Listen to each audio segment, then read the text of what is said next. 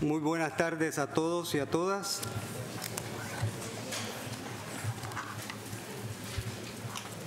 Como presidente provisional del 51 primer periodo extraordinario de sesiones de la Asamblea General de la OEA, tengo el grato placer de dar la más cordial bienvenida al honorable senador Denis Moses, que recientemente tuve la oportunidad de conversar con él en la recién pasada Conferencia de Ministros de Defensa de las Américas realizada en su país, eh, de la cual eh, le agradecemos por la hospitalidad brindada a, a todas las delegaciones.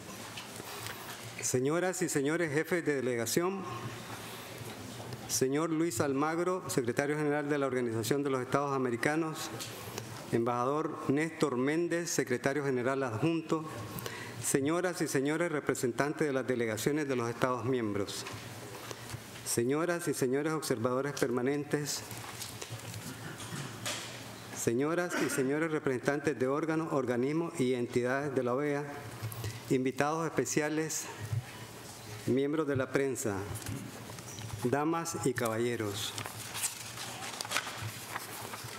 Es para mí honor dar inicio a esta sesión plenaria del 51 primer periodo extraordinario de sesiones de la Asamblea General de la OEA, convocada de conformidad con lo adoptado por esta Asamblea General y el Consejo Permanente mediante las resoluciones AGRES 2890 del 46 periodo, AGRES 2895 siempre del 46 periodo, CP barra res 1066 y CP barra res 1067 del Consejo Permanente.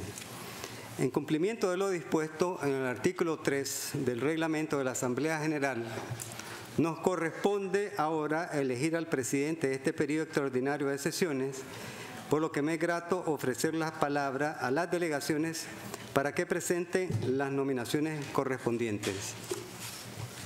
Tienen la palabra las delegaciones. Costa Rica. El distinguido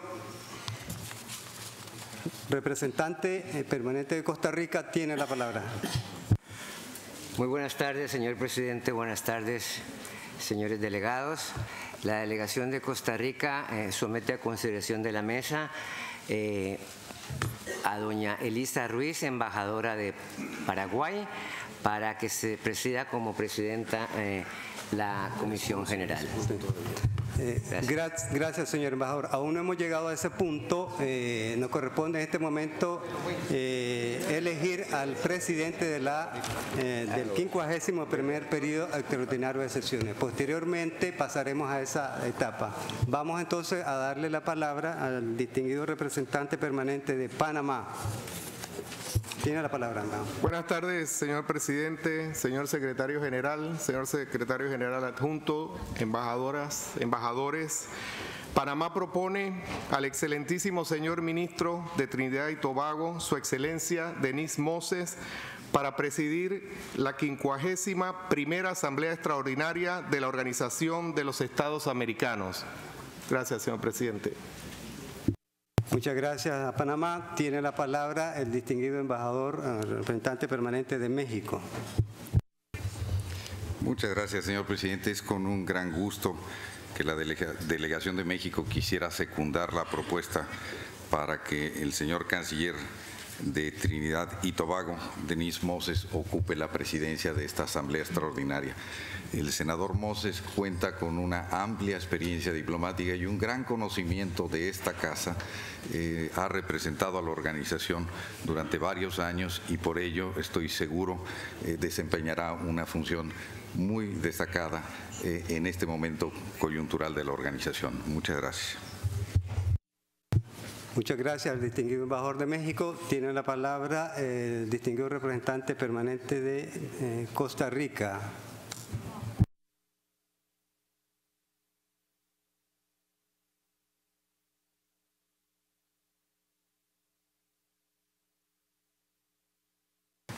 Muchas gracias, señor presidente. Disculpas por, eh, por haber adelantado la, la candidatura de doña Elisa y Costa Rica reitera eh, su... ¿Estamos en ese punto? No, pero entonces, ¿para qué van a- perdone, bueno, cuando llegue el punto lo tocaré. Eh, disculpas. Muy bien, gracias, eh, distinguido embajador de Costa Rica. Eh, sé que, que, hay interés en darle dinámica a la, reunión. Me imagino que en ese espíritu ha sido hecha la propuesta. Muy bien.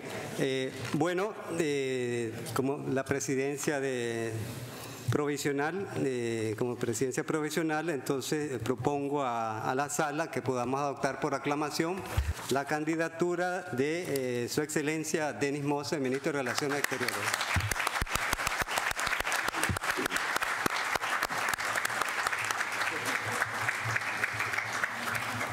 Señor Canciller, jefe de delegación de Trinidad y Tobago, en nombre de todas las delegaciones y en el mío propio, permítame expresarle nuestras más sinceras felicitaciones por su elección como presidente de este 51 primer periodo extraordinario de sesiones de la Asamblea General de la Organización de los Estados Americanos deseándole los mejores augurios para una exitosa labor me complace invitarlo a que ocupe su lugar en la mesa principal.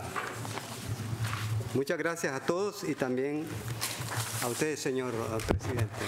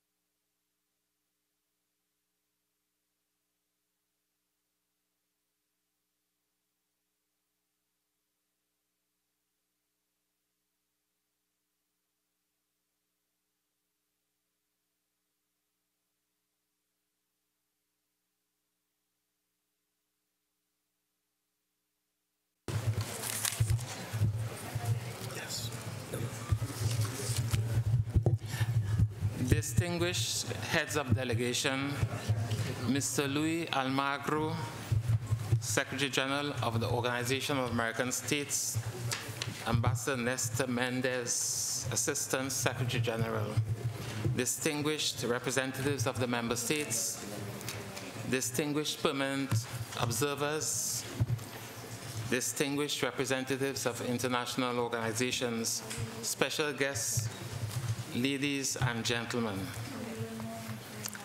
I, needless to say, I accept with all humility your trust uh, in me to chair this session. I also would like to express my appreciation for the kind sentiments expressed by the Ambassador of Mexico. Thank you very much. Before continuing, I wish to inform that in my absence, I will have to leave shortly uh, before the conclusion of this General Assembly. Um, and consequently, as a result, I propose that uh, by consensus, uh, if it meets your approval, that the chairman of CAP, the ambassador of Honduras, be the person to preside over this General Assembly uh, in, when I do leave. If there's no objection, I would seek, therefore seek your agreement.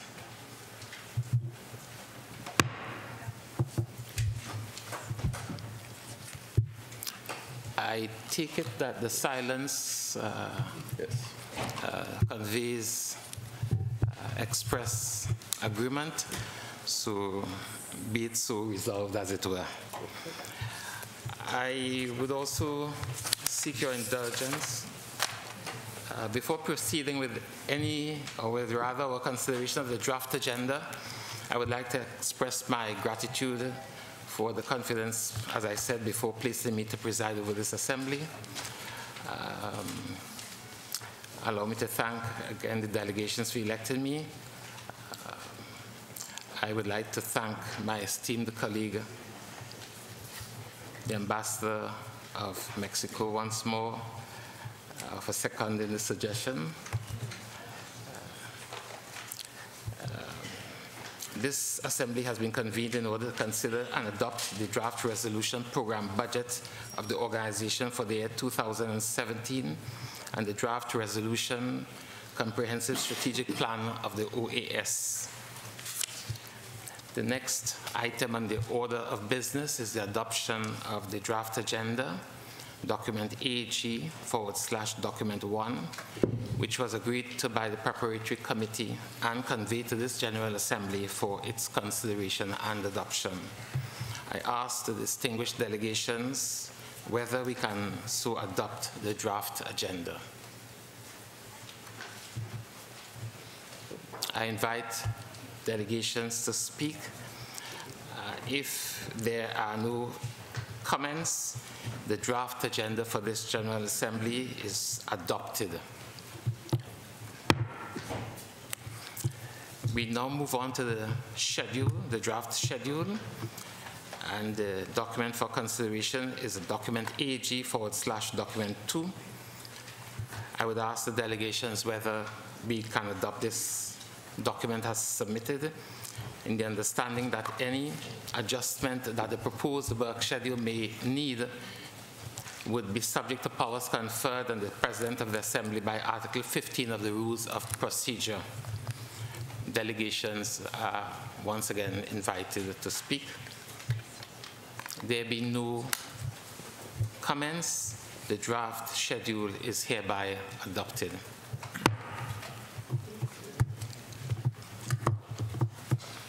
The fourth item on the order of business is the adoption of the recommendations and procedural matters previously approved by the preparatory committee in compliance with Article 20 of the Rules of Procedure of the General Assembly, which may be found in the report of the preparatory committee, document AG forward slash document 8. I ask the delegations if we can adopt the following recommendations conveyed by the preparatory committee.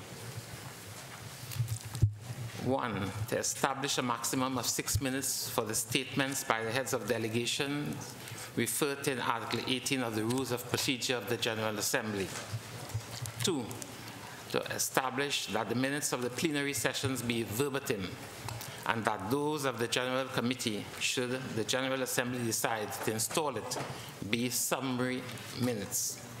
Three, that the 51st special session shall conclude October the 31st of this year, 2016.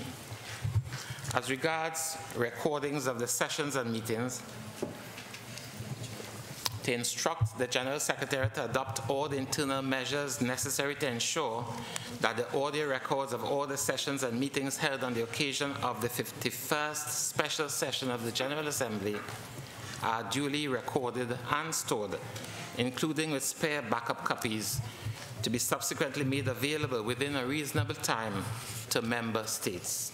Five, that pursuant to Articles 22 and 23 of its Rules of Procedure, the General Assembly may set up the General Committee, which in turn may create subcommittees or working groups as necessary. If there are no observations, the recommendations of the preparatory committee are so adopted. Report, I move now to item five with your agreement. Report of the Secretary General on credentials. We shall now receive the report of the Secretary General on credentials, which is submitted in compliance with the provisions of Article 27 of the Rules of Procedure of the General Assembly and which lists those credentials that were presented in a timely and correct fashion.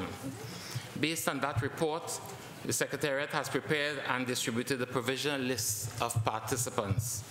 If there are no comments, we shall proceed to adopt the report and credentials submitted by the Secretary General, and I express my appreciation for its timely submission.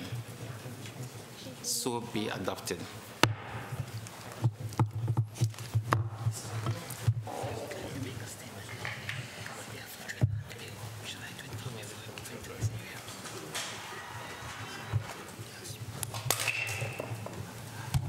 I would seek the indulgence of the meeting to allow me to make a very short presentation, submission, in the name of Trinidad and Tobago, the country uh, that I represent in this General Assembly. If there are no contrary view or no opposition, I propose, I submit that I so continue to offer Trinidad and Tobago's position to be considered within the folder of this meeting. I need to, okay. With that silence, I am very appreciative and express my thanks and gratitude to the meeting. Once again, I greet heads of delegation,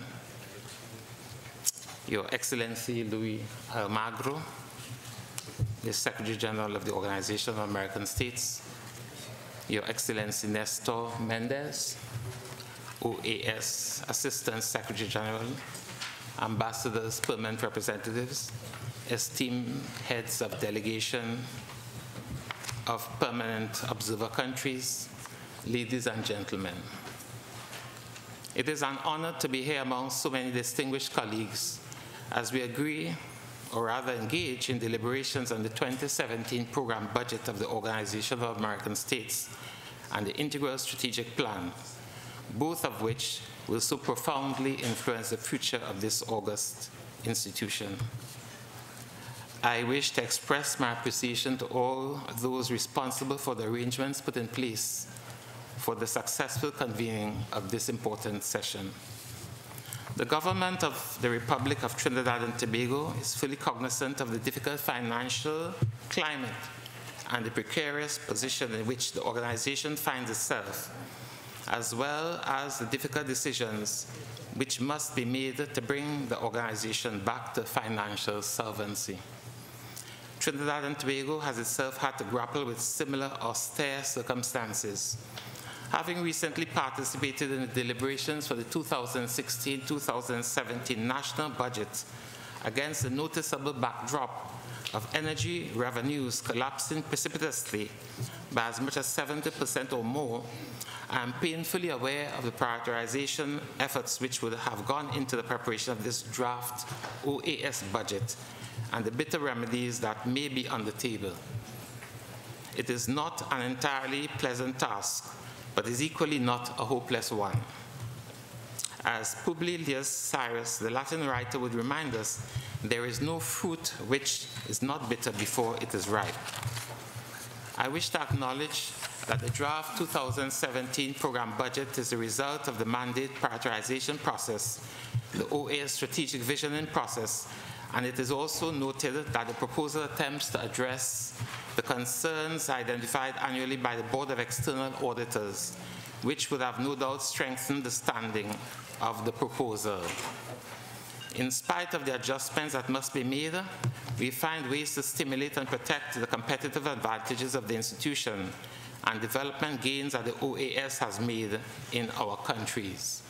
For this reason, CARICOM advocates that adjustments must be informed by the principles of shared sacrifice and responsibility. Last in, first out. With strict adherence to the principle of equitable geographic representation, efficiency with a focus on the elimination of duplication and accountability standards, the introduction of incentive-based compensation when the organization is financially stable, fairness and transparency in separations, salary downgrades, hiring practices, additional financing in the identification of supplemental and sustainable financing, and the preservation of the development pillar. For the Republic of Trinidad and Tobago, the development pillar is of paramount importance in the pursuit of our national interests within the framework of the Organization of American States. It is in this context, distinguished representatives, that the government of the Republic of Trinidad and Tobago has regret regrettably had to confront the unacceptable situation of its loss of confidence in the current leadership of the Executive Secretariat for Integral Development. It has therefore become necessary for the government of Trinidad and Tobago, as a responsible member of this hemispheric community of nations, to provide the Secretary General of this organization with the solid basis for taking appropriate steps to address this concern in the interest of preserving and protecting the value that city is expected to deliver to all member states of the OAS. Trinidad and Tobago is keen to ensure that the 20,000 or rather 2017 program budget adopted today reflects a commitment to strengthening the development and security pillars, equitable geographic representation in the OAS staff, both establishment and contract, the protection of traditional OAS scholarships, the retention of national offices, and the filling of professional level country representative posts and the position of coordinator of national offices, and fundraising to supplement the regular fund. The program budget is also intimately linked to the second substantive item on the agenda, the adoption of the integral strategic plan of the OAS. A strategic plan might chart the course, but without resources dedicated to the right priorities, the vision will quickly become a delusion. In this context, I wish to highlight the ongoing important work of the ad hoc working group on the strategic vision and encourage the continuous strengthening or rather streamlining and the rationalizing of projects and programs. I thank you for your kind attention.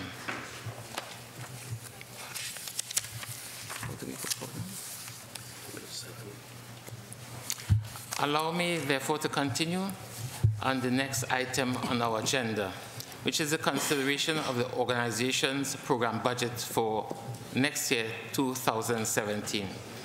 Under the charter of our organization, it falls to the General Assembly to adopt the organization's program budget and to set the member states' quotas.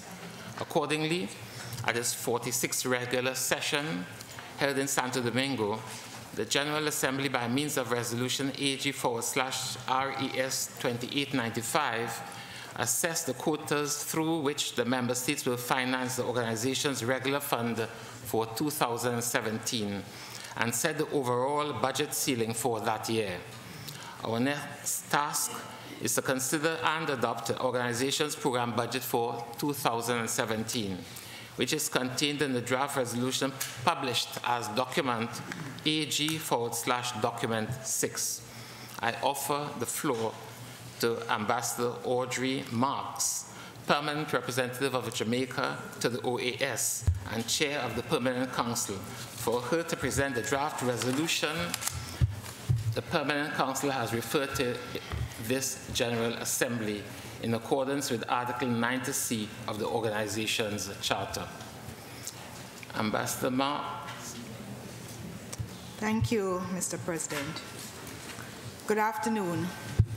In my capacity as Chair of the Permanent Council and Chair of the Preparatory Committee of the General Assembly, I'm pleased to present the draft resolution program budget of the organization for 2017, document AG slash doc 6.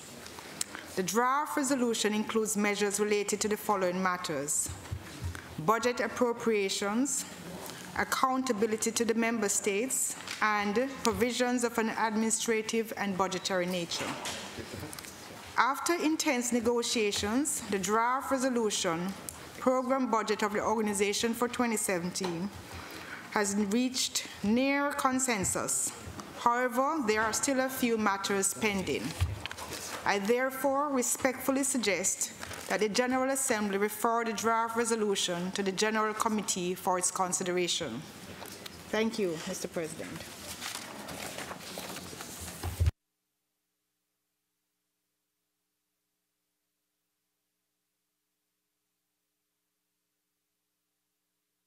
The President suggests that the draft resolution program budget of the organization for 2017 be referred to the General Committee of the General Assembly for consideration.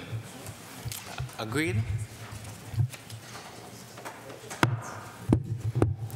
For that purpose, we must now proceed with the installation of the General Committee in accordance with Articles 22 and 23 of the Rules of Procedure of the General Assembly and with the election of its chair.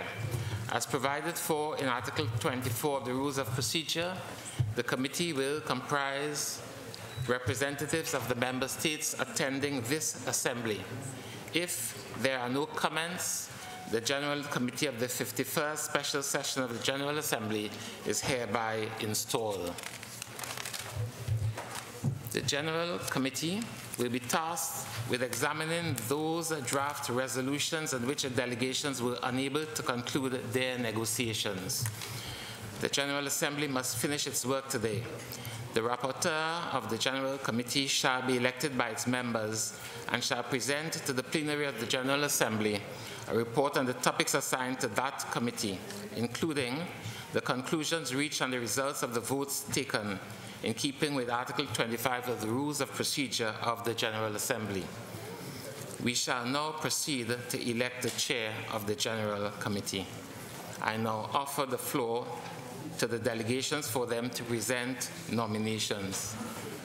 First, I call on Costa Rica. Muchas gracias, señor presidente. Por fin, por fin.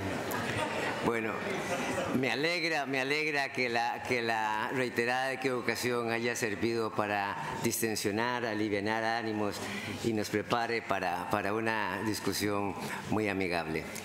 La delegación de Costa Rica reitera por tercera vez que propone a la embajadora de Paraguay como presidenta de la Comisión General. Muchas gracias.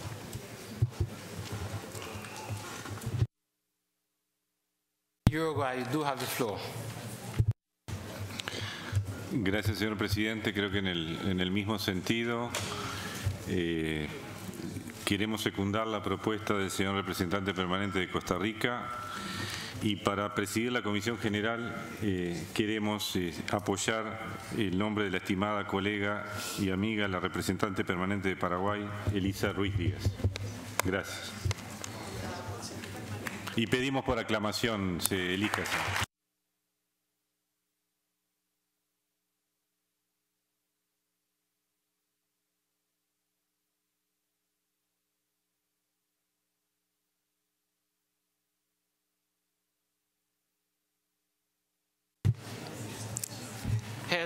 Of the delegation of Paraguay, on behalf of all the delegations, allow me to offer sincere congratulations on your election as chair of the General Committee of the 51st Special Session of the General Assembly of the Organization of American States.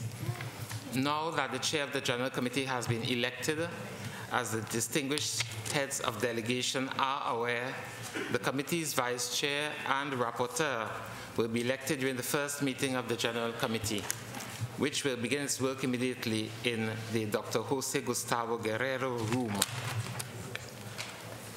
pass well for those who have to leave the room to go. Huh? They need to pass well for those who have to leave the room to go. Okay. You need to announce it. Hmm? You need to announce it. Uh, there will be a short pause to enable to allow those who need to leave the room to so do. Thank you very much.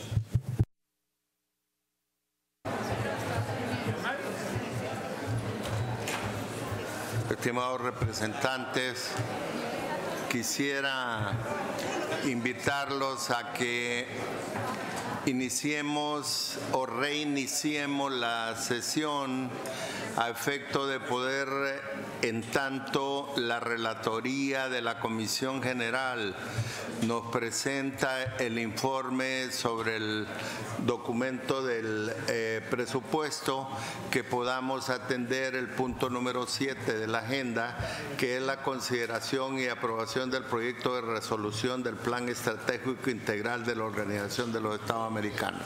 Si ustedes están de acuerdo, iniciaría esta reunión con esa introducción.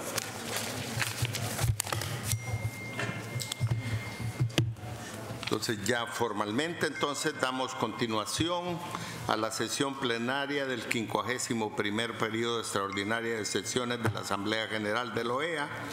Aprovecho la oportunidad para agradecer a todas las delegaciones que tan amablemente me honran con la, eh, para continuar la presidencia de esta Asamblea General. El punto en consideración es el punto número 7, consideración del proyecto de resolución, plan estratégico integral de la organización. Eh, y a, tal efecto, entonces, el plan estratégico de la organización que fue eh, ordenado para la- por la Asamblea General, documento 7, Romanos 51-E barra 16.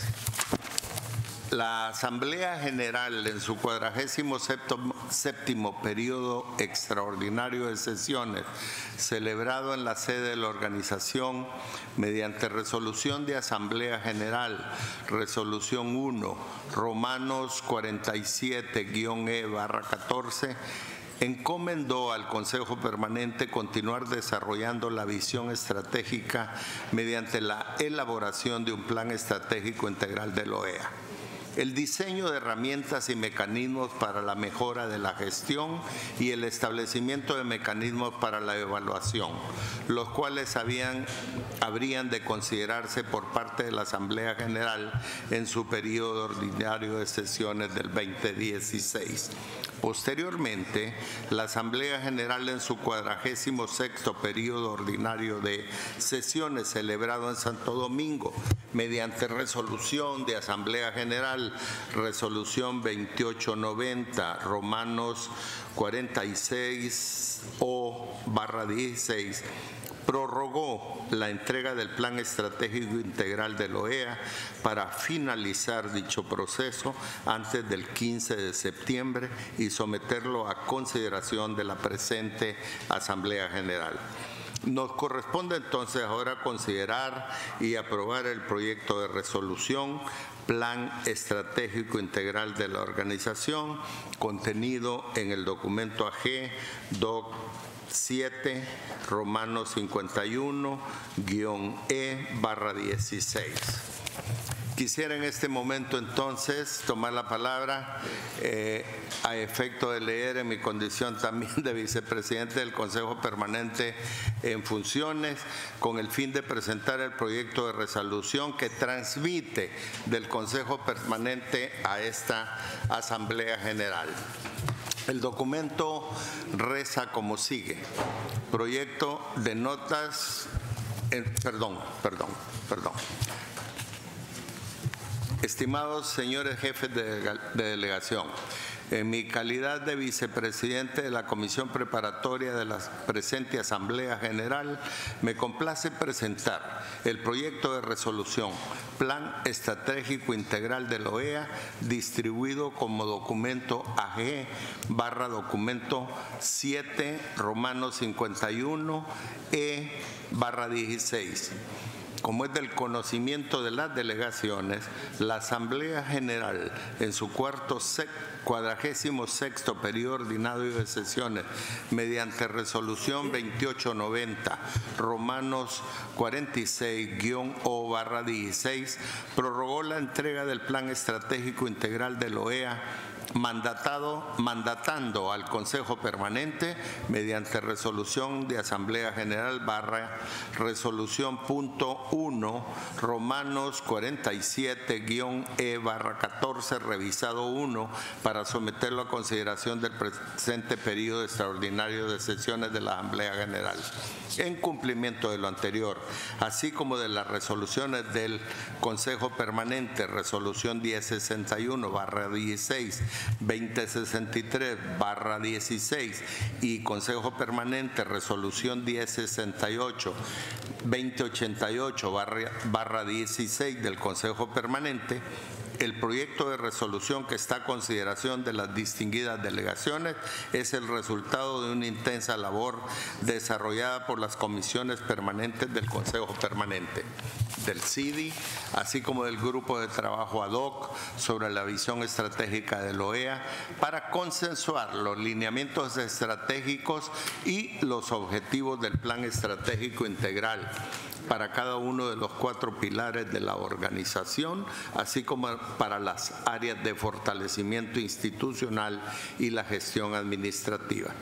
Asimismo, este proyecto de resolución instruye a la Secretaría General para que complete los elementos faltantes del plan estratégico, incorporando metas, actividades, indicadores, tiempos de cumplimiento y responsables, y para que los mismos sean sometidos a consideración de los Estados miembros en el próximo periodo de gestiones de la Asamblea General. Este proyecto de resolución fue acordado esta mañana por el Consejo Permanente, actuando como comisión preparatoria. Debe señalarse que la misión permanente de Estados Unidos presentó un texto en relación con este proyecto de resolución que ha sido traducido a los idiomas oficiales de la organización y distribuido entre las delegaciones para su debida aprobación y para lo que llamó la atención de las honorables delegaciones. En algún momento la representación de México denominó que se trataba de un- una especie de chapó que encabezaba el proyecto de resolución. Eh, señor, eh, este es un breve resumen de algunos aspectos relevantes del proyecto de resolución, el cual fue publicado bajo la ca- clasificación antes mencionado y es presentado para la consideración de esta Asamblea General. En consecuencia, ofrezco entonces eh, la palabra a las delegaciones. Diría entonces que habiendo ya habido en la mañana un consenso para aprobar el, el documento, lo único que quedó pendiente es esta, este párrafo propuesto est- por Estados Unidos que ustedes tienen y tal vez rogaría a la delegación de Estados Unidos si lo lee y eh, podemos someterlo a la consideración de los honorables representantes. Muchas gracias.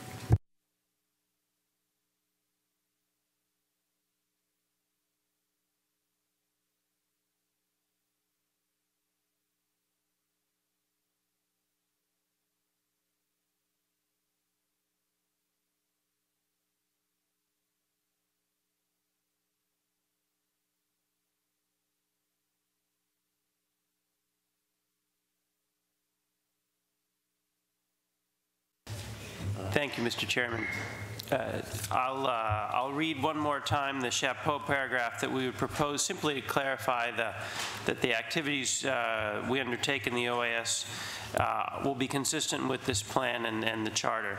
The language would uh, read, "All activities of the OAS will be in accordance with the charter and the strategic lines in this plan in advancing the pillars of democracy, human rights, uh, integral development, and multidimensional security, uh, as well as institutional strengthening."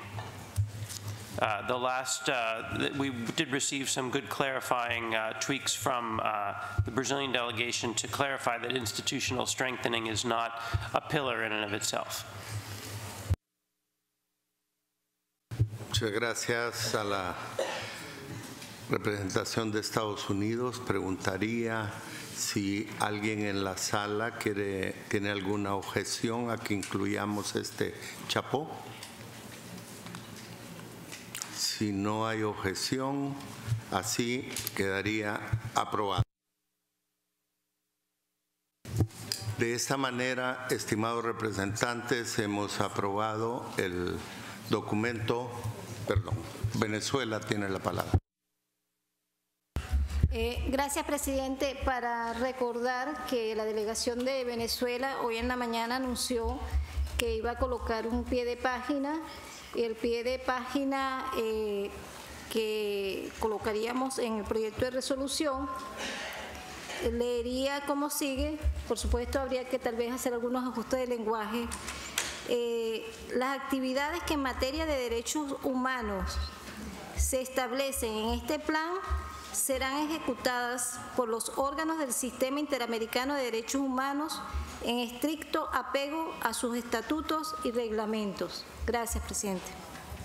Muchas gracias. Eh, tomamos nota como secretaría para hacer la debida incorporación del pie de página que ha propuesto eh, Venezuela.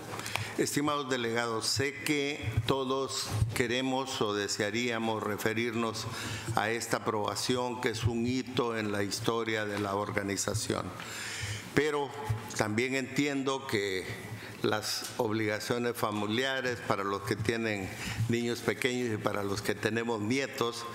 Eh, eh, todos están ya listos esperando a sus padres con sus respectivos disfraces para tomar, tomar. Y yo sé que a todos les está costando muy duro darles explicaciones a los esposos o a las esposas de por qué estamos todavía acá. Pero hay un procedimiento que hemos usado en otras ocasiones que se refiere a que podemos hacer estos comentarios, eh, diría, doctrinarios o filosóficos alrededor de este proyecto, enviarlos a la Secretaría y con gusto los publicamos como agregados y como comentarios a este enorme esfuerzo que han, en el que han participado todos y el, señor embajador Albújar creo que merece de parte de todos una especie de aplauso por haber logrado este consenso y por avanzar en el camino de la aprobación de una visión estratégica.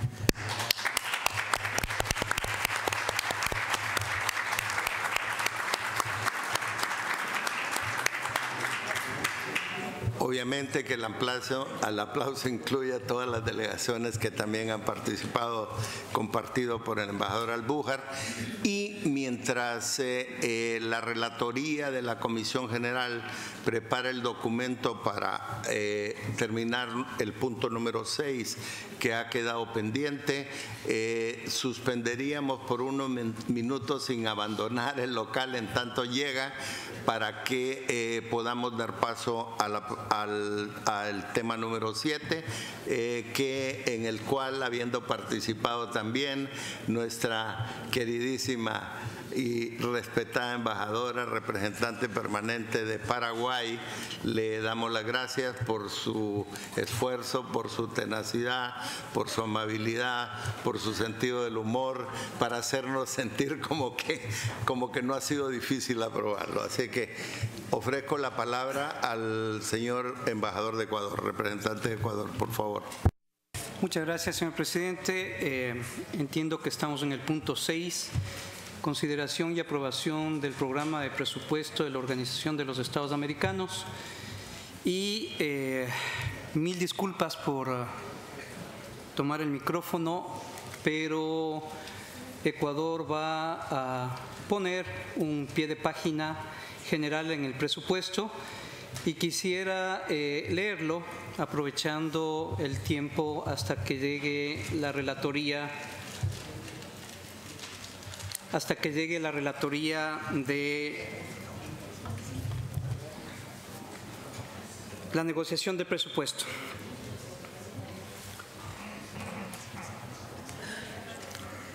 Luego de la rápida recuperación tras la crisis financiera global del 2009, la dinámica de crecimiento de América Latina y el Caribe se ha debilitado desde el 2012. El PIB creció tan solo un 1% en el 2014, dejando atrás la tasa media de crecimiento del 5% de la década anterior. Este promedio oculta la heterogeneidad de América Latina, una región que cuenta con 10 de los 15 países más desiguales del planeta. La pobreza en América Latina, 164 millones de personas eran pobres en el, 2000, en el 2012, de los cuales 66 millones eran indigentes. En el 2013, la tasa de pobreza promedio de la región se ubicó en un 39.4%. La variación por país en el hemisferio va desde un 4.3% hasta un 43% de pobreza, el más alto, lo que denota la disparidad existente. Niños y adolescentes. En el 2015, las niñas y adolescentes entre 0 y 19 años en América Latina y el Caribe sumaban 107 millones, el 17% de la población regional. 55% de los hogares de América Latina viven niñas y adolescentes. De esos, el 40% se encuentra en situación de pobreza. Mortalidad infantil. 196 mil muertes de niños menores de 5 años. Un niño muere cada tres minutos en algún lugar de América Latina. Razón fundamental, la desnutrición por la pobreza. La juventud de la región, 156 millones de jóvenes entre 15 y 29 años que representan el 26% de la población. Según la OIT, la tasa de desempleo de las y los jóvenes en América Latina y el Caribe alcanzó el 15.7%, una cifra tres veces superior a la de las personas adultas. Además, la pobreza afecta desproporcionalmente a las y los jóvenes. El 39% vive en pobreza, con mayor incidencia en el ámbito rural, que llega hasta el 46%. Las regiones que cuentan con las regiones que cuentan con 10 de los 15 países más desiguales del mundo se encuentran en nuestro hemisferio. La discriminación más evidente son las y los jóvenes pertenecientes a pueblos indígenas, jóvenes afrodescendientes, jóvenes de las poblaciones LGTBI. También experimentan situaciones muy especiales de exclusión y violación de derecho las personas con discapacidad. Derecho a la educación. El 66% de los niños matriculados terminan la educación preprimaria y solo el 77% de ellos la educación secundaria.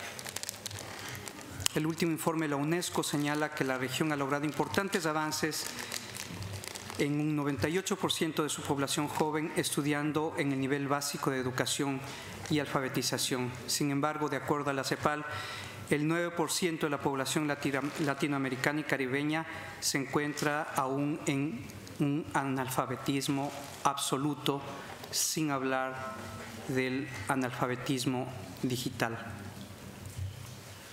El 20% de los jóvenes de entre 15 y 24 años, la mayoría mujeres, adolescentes y jóvenes, no estudian ni trabajan. En proyección más reciente de la OIT del 2016, se prevé que el desempleo juvenil aumentará en los próximos años del 16.8% que es el actual al 17.1% proyectado para el 2017. Los jóvenes latinoamericanos que logran insertarse en el mercado laboral distan de acceder a empleos de calidad. Se estima que 6 de cada 10 jóvenes que consiguen empleo en la región lo hacen en la informalidad, en condiciones laborales precarias, con bajos ingresos y sin cobertura ni derechos sociales. Derecho a la vida y a un desarrollo sustentable. Ya termino. América Latina y el Caribe se consolida como una de las regiones del mundo con menor tasa de mortalidad en niños menores de 5 años, aunque existen disparidades entre países. Por ejemplo, del Caribe, 190 muertes por cada 100.000 nacidos vivos. América Latina, 77 muertes por cada 100.000 nacidos vivos. Un niño muere cada tres minutos en algún lugar de nuestra América.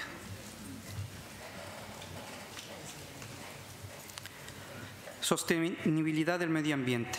El cambio de uso del suelo y la deforestación representan una quinta parte 21% de total de emisiones de gases de efecto invernadero de la región, mientras que en el conjunto del planeta supone alrededor del 5%. La región en su conjunto presenta una reducción del 9% de su proporción de superficie cubierta por bosques y mantiene una tendencia ascendente en cuanto a la emisión de dióxido de carbono. La falta de gestión de, las áreas protegidas y la necesidad de implementar medidas complementarias de conservación ha redundado en que continúe la pérdida del hábitat y de una buena parte de la biodiversidad de todo el hemisferio feminicidio. En promedio, al menos 12 mujeres son asesinadas diariamente en la región por el hecho de ser mujer. Los feminicidios ocasionados en el ámbito de las relaciones de pareja constituyen la forma más dramática de violencia contra la mujer. Economía y mujeres. Más de la mitad de las mujeres de la región no tienen ingresos propios o sus salarios son muy, muy inferiores al salario mínimo de cada país y al salario que obtiene un hombre por el mismo trabajo. Seguridad.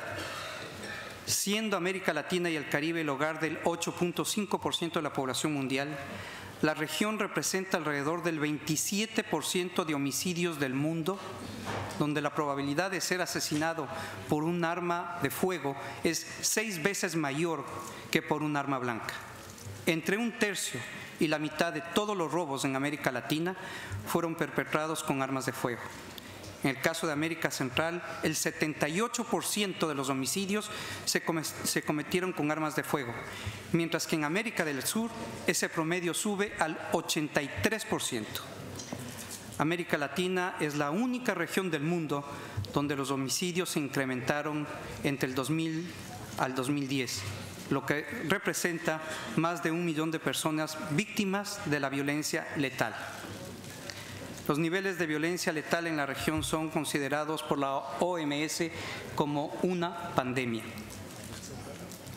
Encarcelamiento y políticas penitenciarias. El país con mayor tasa de personas privadas de la libertad en el mundo, conforme al tamaño de su población, se encuentra en este continente. Y, esta cifra, y de estas cifras, el 80% son minorías raciales, afroamericanos y latinos en la región, más del 40% de la población carcelaria se encuentra en detención preventiva, sin juicio y sin visos de una efectiva aplicación de la justicia. Desastres naturales. Del 2008 al 2012 se produjeron 1.5 trillones de dólares en daños económicos en la región por concepto de desastres, tanto los causados por el hombre como los desastres naturales especialmente tormentas e inundaciones. Las pérdidas económicas en las Américas excedieron el 20% de su PIB. Hasta la fecha no existe un estudio consolidado sobre esta situación, la ocurrencia y las consecuencias y la forma en que debemos prepararnos. Es criterio de esta delegación que estas que acabo de mencionar son las prioridades de los pueblos y esta organización no refleja ni en su presupuesto ni en sus discusiones financieras estas prioridades que he citado. Quiero pedirle su paciencia para muy rápidamente ejemplificar el divorcio entre la ficción que creamos en nuestro presupuesto y la realidad que aprobamos en nuestro presupuesto. Macondo es nuestra meta. En el cuadro que el secretario general nos presentó en la página 6 de la introducción del presupuesto. Tenemos al pilar de democracia con 39.5, 39 millones 593 mil que significa el 25.3%, a los derechos humanos, al pilar de derechos humanos, 24 millones que significa el 15%, desarrollo integral 20 millones que significa el 13%, seguridad multidimensional 20 millones que significa el 12.9%, Gestión administrativa con 32 millones, que significa el 20.8%, y fortalecimiento institucional, que significa el, eh, de 19.456.000, que significa el 12.4%. Parecería que estos rubros, a pesar de ser mínimos para la grave problemática del hemisferio, tratan de mantener un balance entre los pilares. Desde luego, no entre los problemas del mundo real. Sin embargo, cuando analizamos detenidamente el presupuesto, nos encontramos con otras verdades. Un claro ejemplo es el tema de derechos humanos. De los 24 millones que se menciona en el pilar presentado por la Secretaría General, se destinan al Sistema Interamericano de Derechos Humanos 8 millones 399 mil 200 dólares. 2 millones 756 mil para la Corte y 5 millones 643 mil para la Comisión. Esto constituye aproximadamente el 57% del sistema, porque el 43% restante son aportes específicos que hacen los estados o donantes en general. En total, la Corte dispone para el año 2017 de 3.355.000 dólares y la Comisión de 12.336.500 dólares.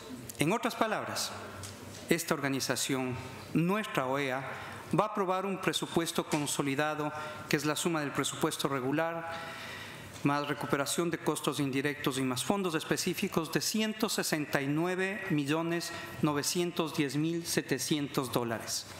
Y va a asignar a la Corte Interamericana de Derechos Humanos 1.9% y a la Comisión Interamericana de Derechos Humanos 7.1%.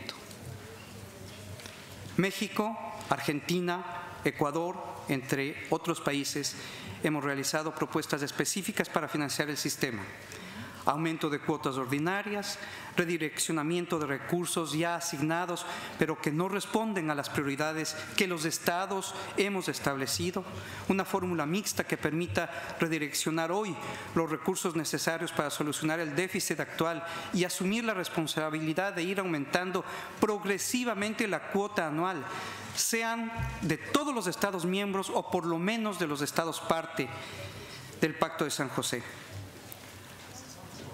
aunque vaya solo dirigido a la promoción, aumento que asumiríamos los estados con la seguridad de que ese dinero iría únicamente para la promoción y protección de la Comisión y para el juzgamiento de las posibles violaciones de los derechos humanos y las consultas que los 35 estados harían a la Corte. Sin embargo, nada de esto ha sido aprobado y el sistema interamericano deberá seguir mendigando su, supervivencia. Los ejemplos abundan. La alianza intergeneración, interagencial con la Organización Panamericana de la Salud en cuanto a la implementación de la Agenda 2030, mandato de la Asamblea General de República Dominicana, Tal vez una de las más importantes materias del continente tiene la fabulosa suma asignada por nosotros en el presupuesto de 30 mil dólares.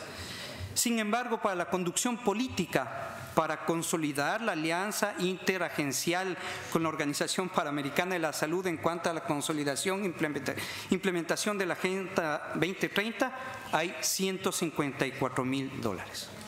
La Secretaría Técnica para el Seguimiento del Plan de la Acción de la Carta Social de las Américas tiene asignado un presupuesto de 30 mil dólares. Para la ejecución de la estrategia de la Declaración Americana sobre Pueblos Indígenas, 26 mil dólares. La Secretaría de Afrodescendientes, 56 mil dólares. Iniciativa para más vida y más salud para mujeres, niños y niñas en las Américas, 38 mil dólares.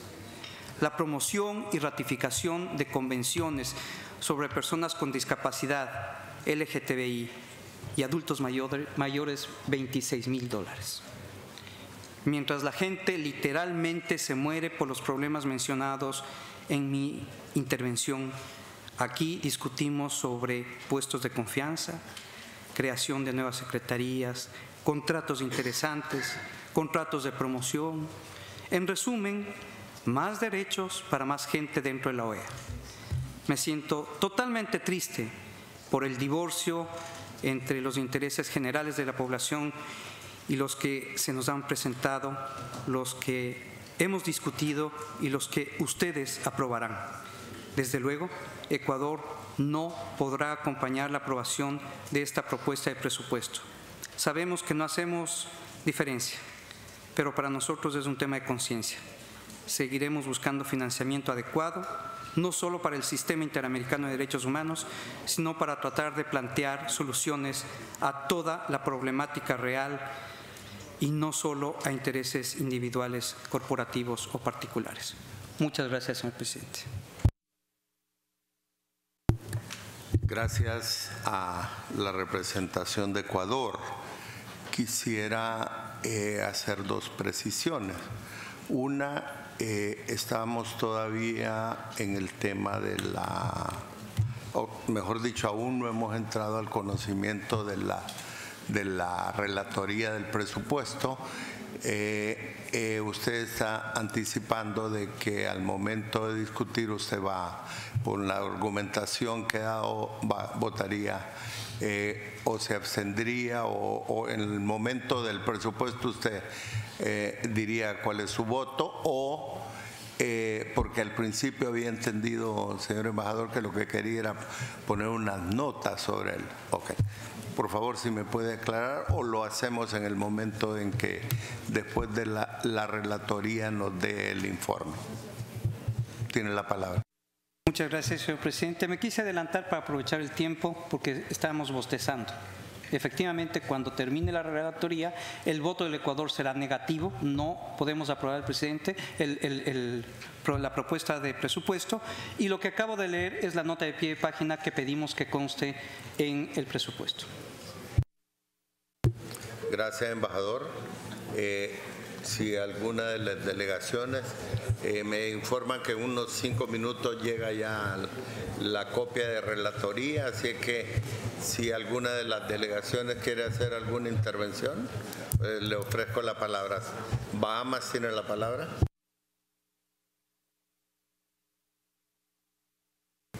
Thank you very much, Mr. Chairman. Just a procedural question.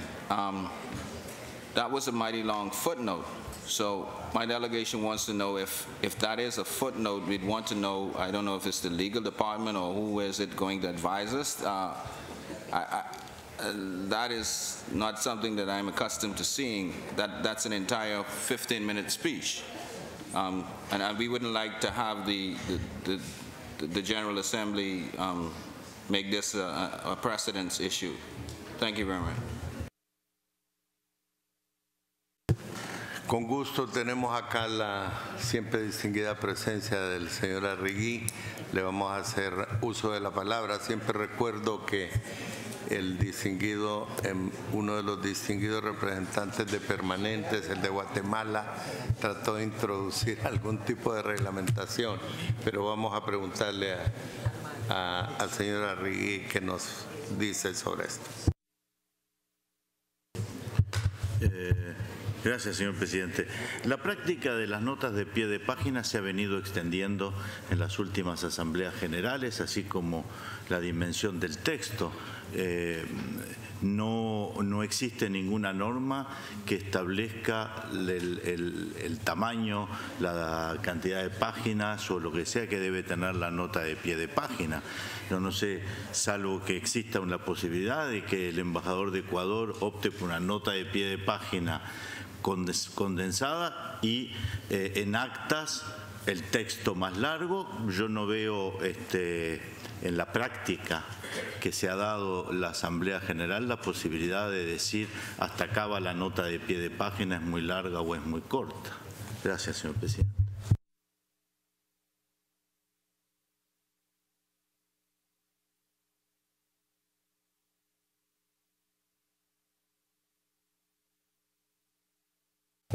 Venezuela tiene la palabra.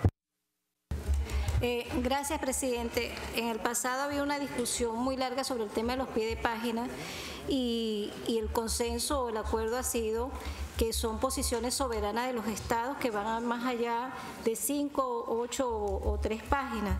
Este, lo que sí, después de mucho debate, se acordó es que eh, cerca de la resolución o, el texto de unas primeras cinco líneas o algo parecido, es iniciar al pie de página y luego se continuar al final de la resolución. Eh, porque una cosa es que conste en acta, como efectivamente va a constar, y otra es que aparezca el texto eh, como fue leído por la delegación que tiene el derecho a proponer el pie de página. En ese sentido, estimamos que eh, el pie de página de Ecuador, en su justo derecho de, colocarlo, este, será, adoptará eh, las modalidades que se vienen llevando hasta este momento. Gracias. Gracias a Venezuela, solo para efecto de ampliar un poco la, consulta a don Jean-Michel. Eh, eh, en la experiencia, en la práctica, digamos, en la costumbre, de, en la práctica de, las asambleas y del propio Consejo, se ha acostumbrado como una, el pie de página como una fórmula para no interrumpir el consenso, pero dejar expresado que se tiene, eh, que se llega al consenso, pero que se tienen expresados algunos criterios que no se comparten. Pero en este caso, eh, la diferencia con la tradición, eh, que obviamente el respeto a la posición de Ecuador y se hará lo que el Estado proponga. Eh, en este caso es que está dando un voto negativo, o sea que no se aprueba y por lo tanto entonces lo que es una explicación a un voto no, un voto razonado, entonces lo que constaría es como la justificación a un voto de no y no como un pie de página, puesto que la tradición que hemos seguido es que el pie de página es cuando llegamos a un consenso y permitimos eh, que la delegación eh, ofrezca alguna explicación de que a pesar de que su de que el Estado argumenta algunas circunstancias que no le son favorables, pero que al final eh, acepta y se volca por el consenso. Así que eh, quisiera preguntar a la señora Rigui sobre ese tema. El tema de las notas de pie de página, como recordaba la delegada de Venezuela, tiene una larga historia. En el reglamento no se prevén las notas de pie de página. Se prevén que quien se oponga al consenso, quien vote en contra, quien no quiera adherir al consenso, hace una declaración que quedaba en actas. Y todo lo que era, lo que quedaba así a pie de página son las reservas o las declaraciones en el momento de los tratados.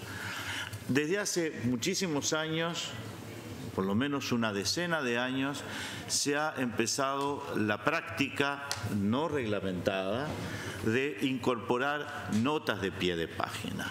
Estas notas de pie de página la han hecho delegaciones para justificar eh, la no eh, participación en el consenso, para justificar en algunos casos un voto en contra, etcétera. Re- repito, esto no está reglamentado, no está reglamentado, pero ha sido la práctica. Las notas de pie de página se han ido extendiendo. Al principio se ponían la nota de pie de página al pie de la primer página y eran muy cortitas. Eso llevó a que luego extensiones de nota de pie de página, como recordaba la delegada de Venezuela, ocupaban toda la primer página y parecía la nota de pie de página como la verdadera resolución. Eso llevó entonces a una segunda práctica que es la actualmente que se lleva y ustedes la pueden ver en las resoluciones. Recuerdo numerosas resoluciones de la Asamblea General van multiplicando esta práctica. Se pone una breve referencia de que hay una nota de pie de página, la primera línea, la segunda línea, yo no, no sé cómo, cómo están haciendo, y eso remite a las páginas finales. Esto sustituye en la práctica, debido al hecho de las nuevas formas de publicación, de difusión, etcétera, lo que eran realmente las actas los comentarios en actas. Es simplemente de alguna forma una referencia de que hay una nota de pie de página que es el sustituto actual de lo que eran las viejas constancias en actas, que hoy en la práctica las actas se publican, no sé ni si se publican cuánto tiempo después, etcétera. Pero esa es la práctica actual independientemente de las normas reglamentarias. Gracias al Rigui. Entonces, al momento de, aprobar la resolución, la, ya las, las palabras que expresó el distinguido embajador han quedado ya registradas y grabadas en acta. O sea que al momento de entrar a la aprobación del programa presupuesto, entonces usted podrá indicar cuál es su posición resumida. Gracias. Ofrezco la palabra a Bolivia. Gracias, señor presidente. Mi delegación quería una aclaración porque es eh, un derecho de todos los estados que puedan incluir el- la nota al pie de página. Acaba usted de, de decirnos que sí va a estar registrada eh, la nota de pie de página completa. Simplemente, como es costumbre, las tres primeras líneas van a ir en la página donde se incluya y el resto va a ir en el documento al final. Gracias, señor presidente.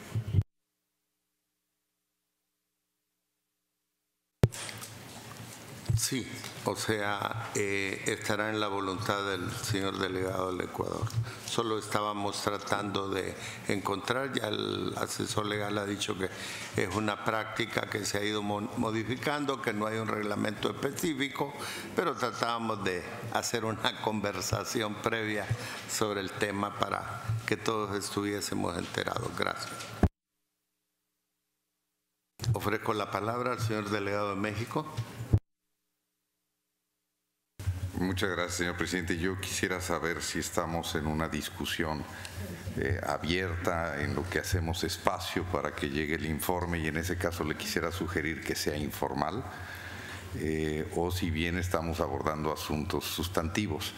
Eh, este tema de las notas de página no me parece un tema para una discusión en la Asamblea independientemente que tenga implicaciones presupuestarias, porque evidentemente la traducción de esa nota eh, de varias páginas tiene un costo para la organización. Gracias. Sí, gracias, embajador.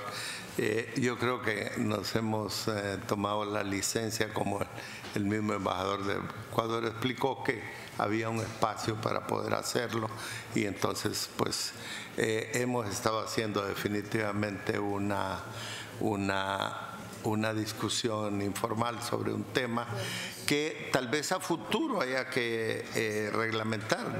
Yo- les comentaba que eh, uno de los representantes, creo que de Guatemala, hizo una propuesta sobre que hiciésemos una reglamentación al respecto, pero todavía está pendiente, o sea, no tenemos una reglamentación específica, por tanto vamos eh, aplicando las circunstancias que nos ocurren en cada caso.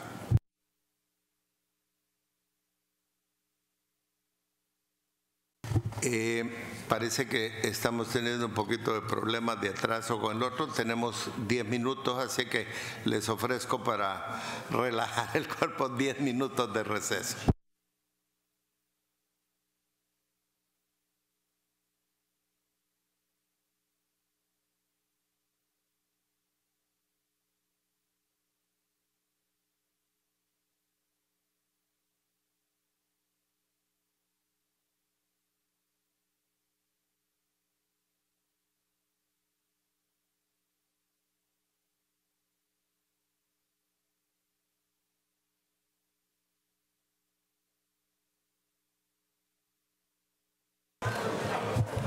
Querría preguntar a la relatora si estaría en condición de presentar el informe, así que eh, estamos listos para recibirlo.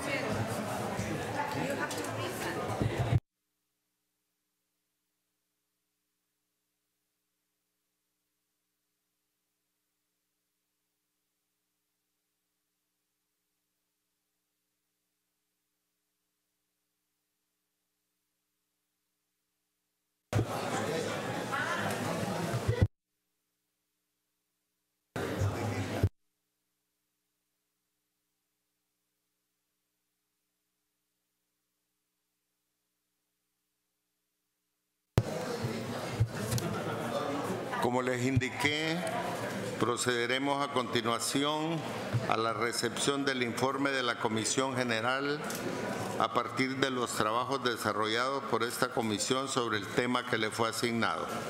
Me complace pues ofrecer la palabra para la presentación del informe a Magda Guerra, delegada de Guatemala, relatora de la Comisión General. Tiene la palabra. Gracias, señor presidente, y buenas noches a todos en la sala. En mi capacidad de relatora de la Comisión General, tengo el honor de presentar a los distinguidos jefes de delegación de este 51 primer periodo extraordinario de sesiones de la Asamblea General de la organización el informe sobre las tareas cumplidas por la Comisión General en cumplimiento del artículo 25 del reglamento de la Asamblea General. El plenario, en su primera sesión celebrada el día 31 de octubre de 2016, instaló la Comisión General de conformidad con el artículo 22 del reglamento y eligió como presidenta a la embajadora Elisa Ruiz Díaz, representante permanente de Paraguay ante la Organización de los Estados Americanos, quien fue propuesta por la delegación de Costa Rica y electa por aclamación.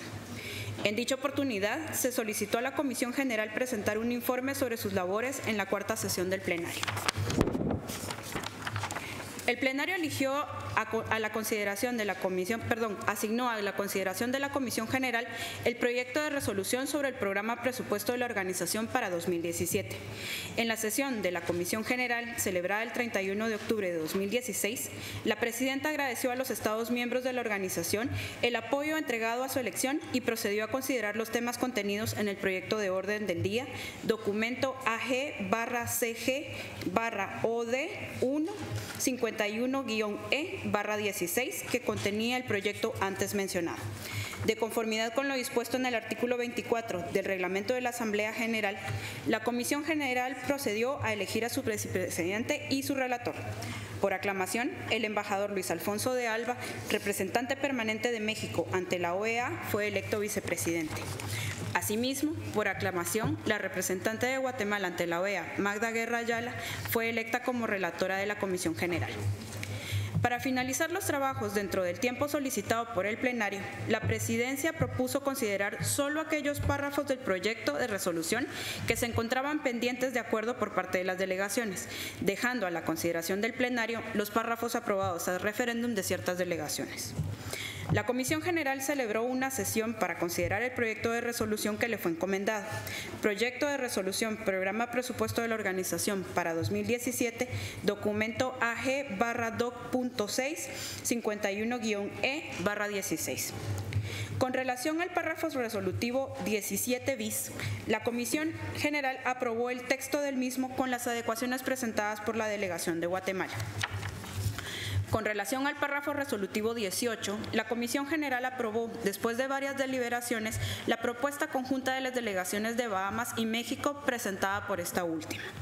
Con relación al párrafo resolutivo 1, la Comisión General acordó, como apropiaciones presupuestarias, un monto que no exceda los 73.5 millones de dólares del fondo regular y una recuperación de costos indirectos de 4.5 millones de dólares. Con relación al párrafo resolutivo 1 bis, la Comisión General acordó instruir a la Secretaría General a efectuar las transferencias de personal que se relacionan con el anexo 3 bis. Con relación al párrafo resolutivo 2, la Secretaría General ajustaría los niveles de apropiación con base en lo acordado. Con, con, relación a los párrafos resolutivos 4 cuarta, 8 incisos B, C, D y E, la Comisión General acordó su eliminación. El trabajo efectuado por la Comisión bajo la ejemplar dirección de su presidenta, embajadora Eluisa Ruiz Díaz, representante permanente de Paraguay, permitió aprobar el proyecto de resolución distribuido a las delegaciones. Deseo expresar a nombre propio y de todas las delegaciones nuestro reconocimiento y agradecimiento a la presidenta y al vicepresidente de la Comisión General por su liderazgo y la excelente conducción de las negociaciones del proyecto de resolución Programa Presupuesto de la Organización 2017. A los representantes de los Estados miembros que participaron en la resolución, los felicitamos por sus esfuerzos y por su colaboración en la tarea asignada a la misma. Finalmente, cúmpleme agradecer a los miembros de la Comisión General por haberme confiado esta delicada tarea para llevar a cabo la relatoría de esta comisión. Gracias, señor presidente. Muchísimas gracias, eh, nuestra relatora Magda Guerra. Eh, Hemos escuchado su informe y quiero agradecerle en nombre de la Asamblea General por la labor desempeñada y por la presentación del mismo. Creo que todos los representantes que estamos acá conformando esta Asamblea Extraordinaria reconocemos con satisfacción el trabajo de la Comisión. En ese sentido, queremos destacar la labor de la embajadora Elisa Ruiz Díaz, representante de Paraguay ante la OEA y presidente de la Comisión General, de su vicepresidente, el embajador Luis Alfonso de Alba Góngora, representante permanente de México, y de su relatora, eh, la señora Magda Guerra, representante externa de Guatemala, así como el de todos los delegados que participaron en estos intensos trabajos en la Comisión General. Habiendo entonces escuchado el informe de la relatora, la presidencia propone que iniciemos el conocimiento del documento que fue considerado en el marco de la Comisión General. Y en primer lugar, habiendo varias delegaciones que tienen al referéndum, quisiera preguntarles, igual el mismo procedimiento que se usó en el Consejo, si eh, tienen alguna consideración especial sobre el mismo.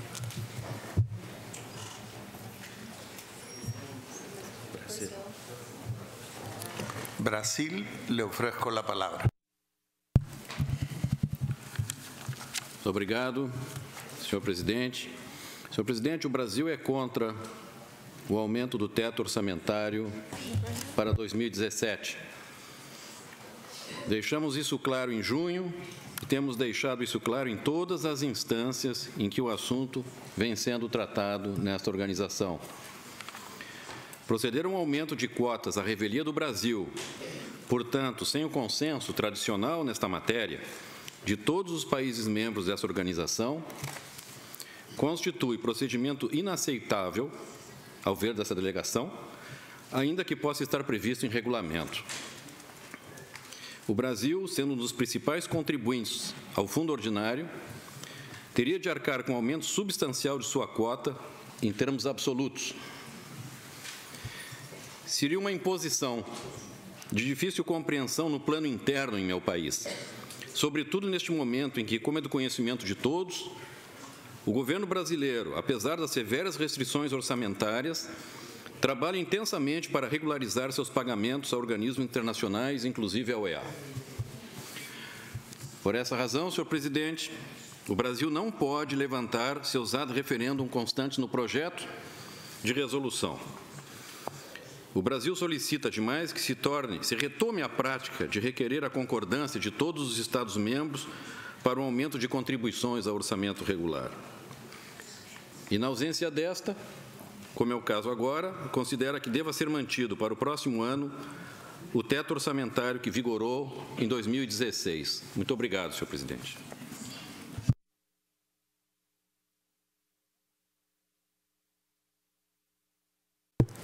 Sea otra de que ha tenido Venezuela, tiene el uso de la palabra. Eh, gracias, presidente. Nosotros queremos eh, sumarnos al, al referéndum de Brasil. Nosotros en su momento, durante el Consejo Permanente de junio, explicamos eh, las razones por las cuales eh, la delegación, la República Bolivariana de Venezuela, no podía acompañar un aumento de cuotas en la organización. Eh, Venezuela tiene otras prioridades y mal podría designar eh, recursos para el aumento a organismos internacionales. En ese sentido, repetimos, acompañamos eh, el, al referéndum de Brasil y, este, y pedimos que se tome nota de esta declaración. Gracias. Gracias, Venezuela. Ofrezco la palabra a Ecuador. Gracias, presidente. Debido a que, como ya he explicado, no, Ecuador no acompañará el consenso, levantamos los dos al referéndum que teníamos.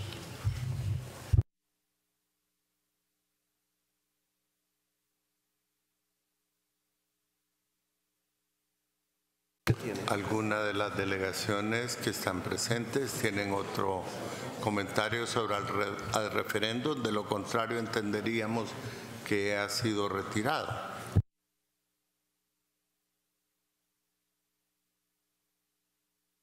Argentina tiene el uso de la palabra.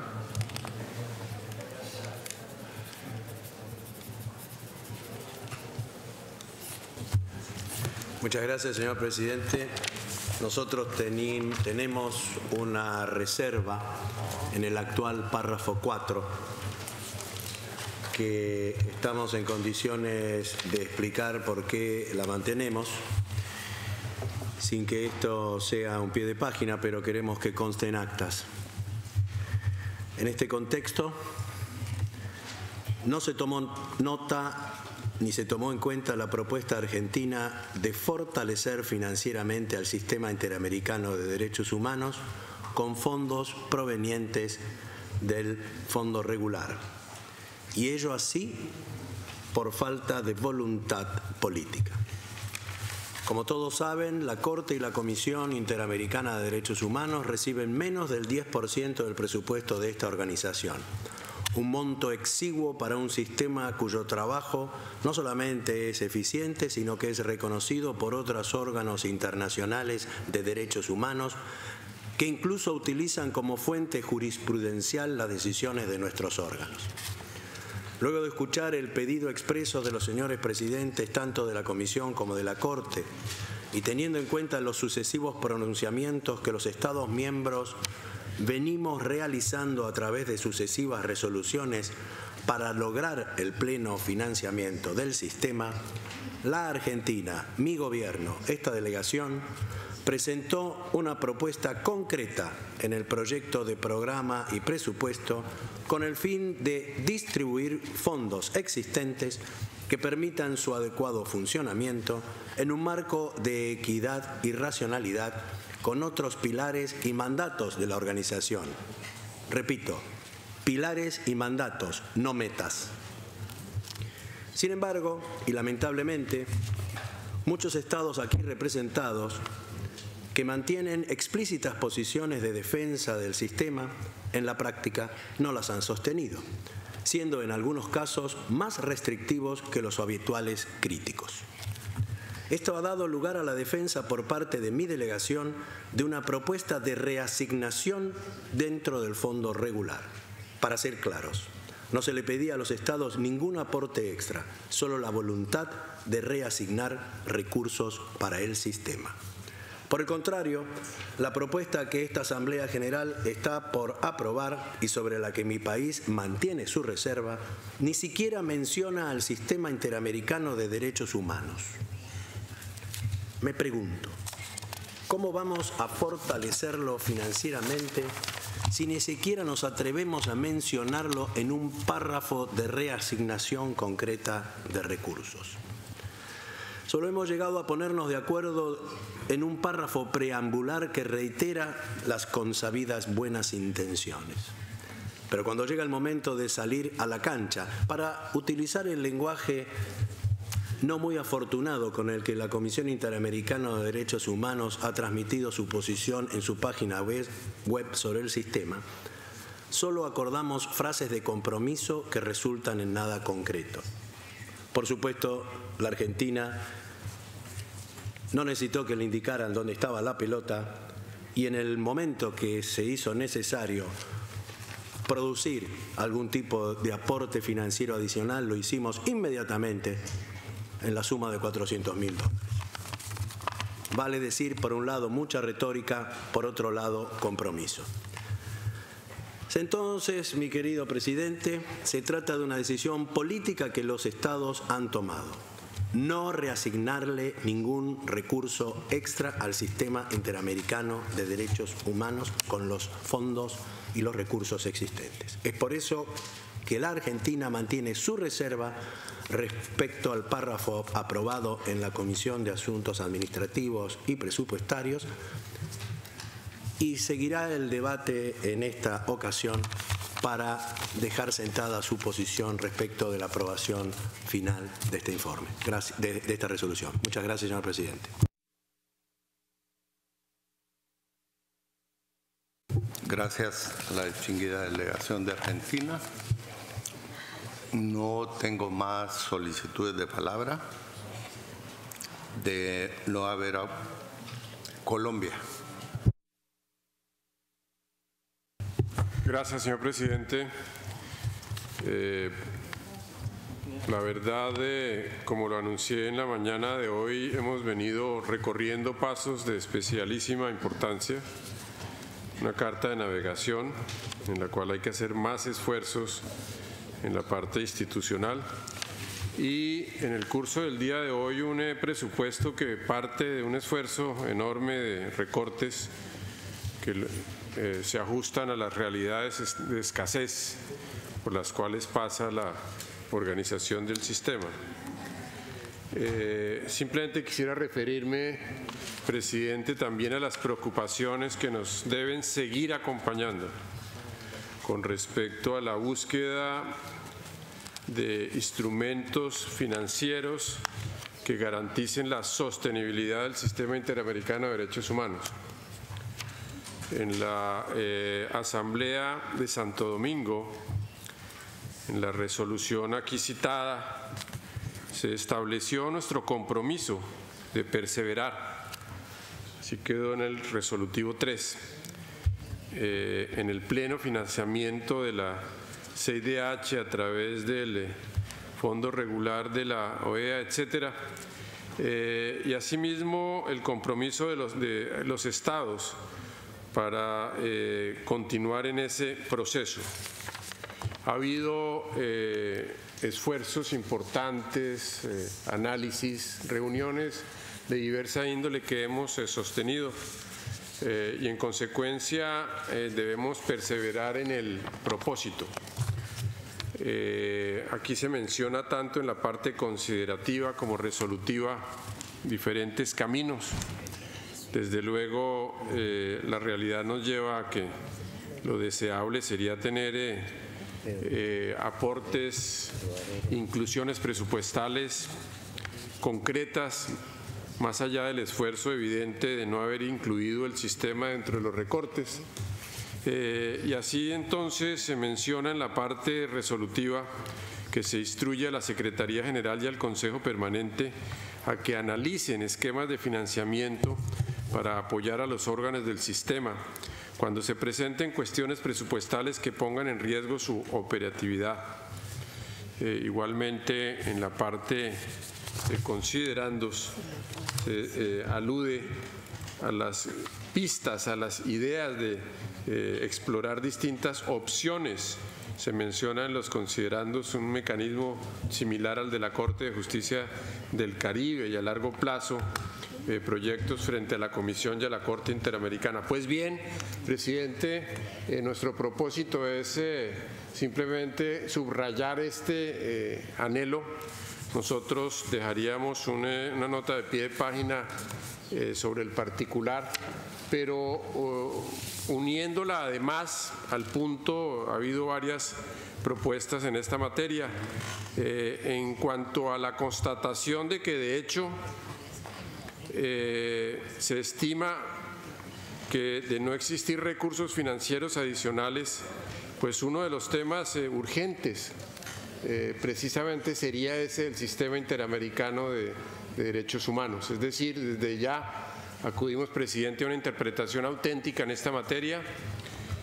nos unimos a quienes creen que es posible hacer en estas previsiones una referencia concreta. Reiteramos nuestro propósito de unirnos a los grupos de trabajo que sean del caso. Nos unimos igualmente al aliento de México para que en la próxima asamblea se trate a fondo, eh, de manera inaplazable, un esfuerzo eh, concreto y definido en esta materia. Y en esos términos, eh, además, también agregamos la importancia de de completar una vez se paguen las deudas de los fondos de tesorería y de capital de becas, tanto lo relativo a la CIDH, a la Corte Interamericana en general, al financiamiento del, del sistema e igualmente al desarrollo integral. Escuchamos con mucha atención apreciaciones aquí de países del Caribe, especialmente nosotros agregamos en el tema de educación. De manera que aprobamos, acompañamos el proyecto de presupuesto y dejaríamos simplemente esta nota de pie de página en cuanto a la interpretación que hacemos en la materia. Gracias, presidente. Gracias. Eh, quiero recordarles a todos el compromiso de, que tenemos de alguna brevedad, de eh, concluyendo. Ofrezco la palabra a Canadá. Thank you, uh, Mr. Chairman. Uh, Mr. Chairman, um, I know that you uh, first introduced this item asking for uh, countries that had uh, ad referendum. Canada does not have an ad referendum, but I would like to seize the opportunity to read a footnote, uh, a real footnote, which is short, um, on the issue of Section 3, Article 1. Canada's position on the 3% increase has been very clear in the past and since June. So I will read you the footnote, which of course we will share in writing with the Secretary Secretariat. So our footnote goes as follows. Canada does not support the 3% increase in the budget ceiling as we recommend OAS member states to pursue a comprehensive and sustainable solution to ongoing financial challenges that would both strengthen the OAS institutional capacity and support long-term financial sustainability. We will provide this language in writing. We also had ex a more extensive statement that we will not uh, be reading now, but we will be sharing uh, in writing. Thank you. Muchas gracias a Canadá. Hemos tomado debida nota de la propuesta de pie de página. Ofrezco la palabra a México. Muchas gracias, señor presidente.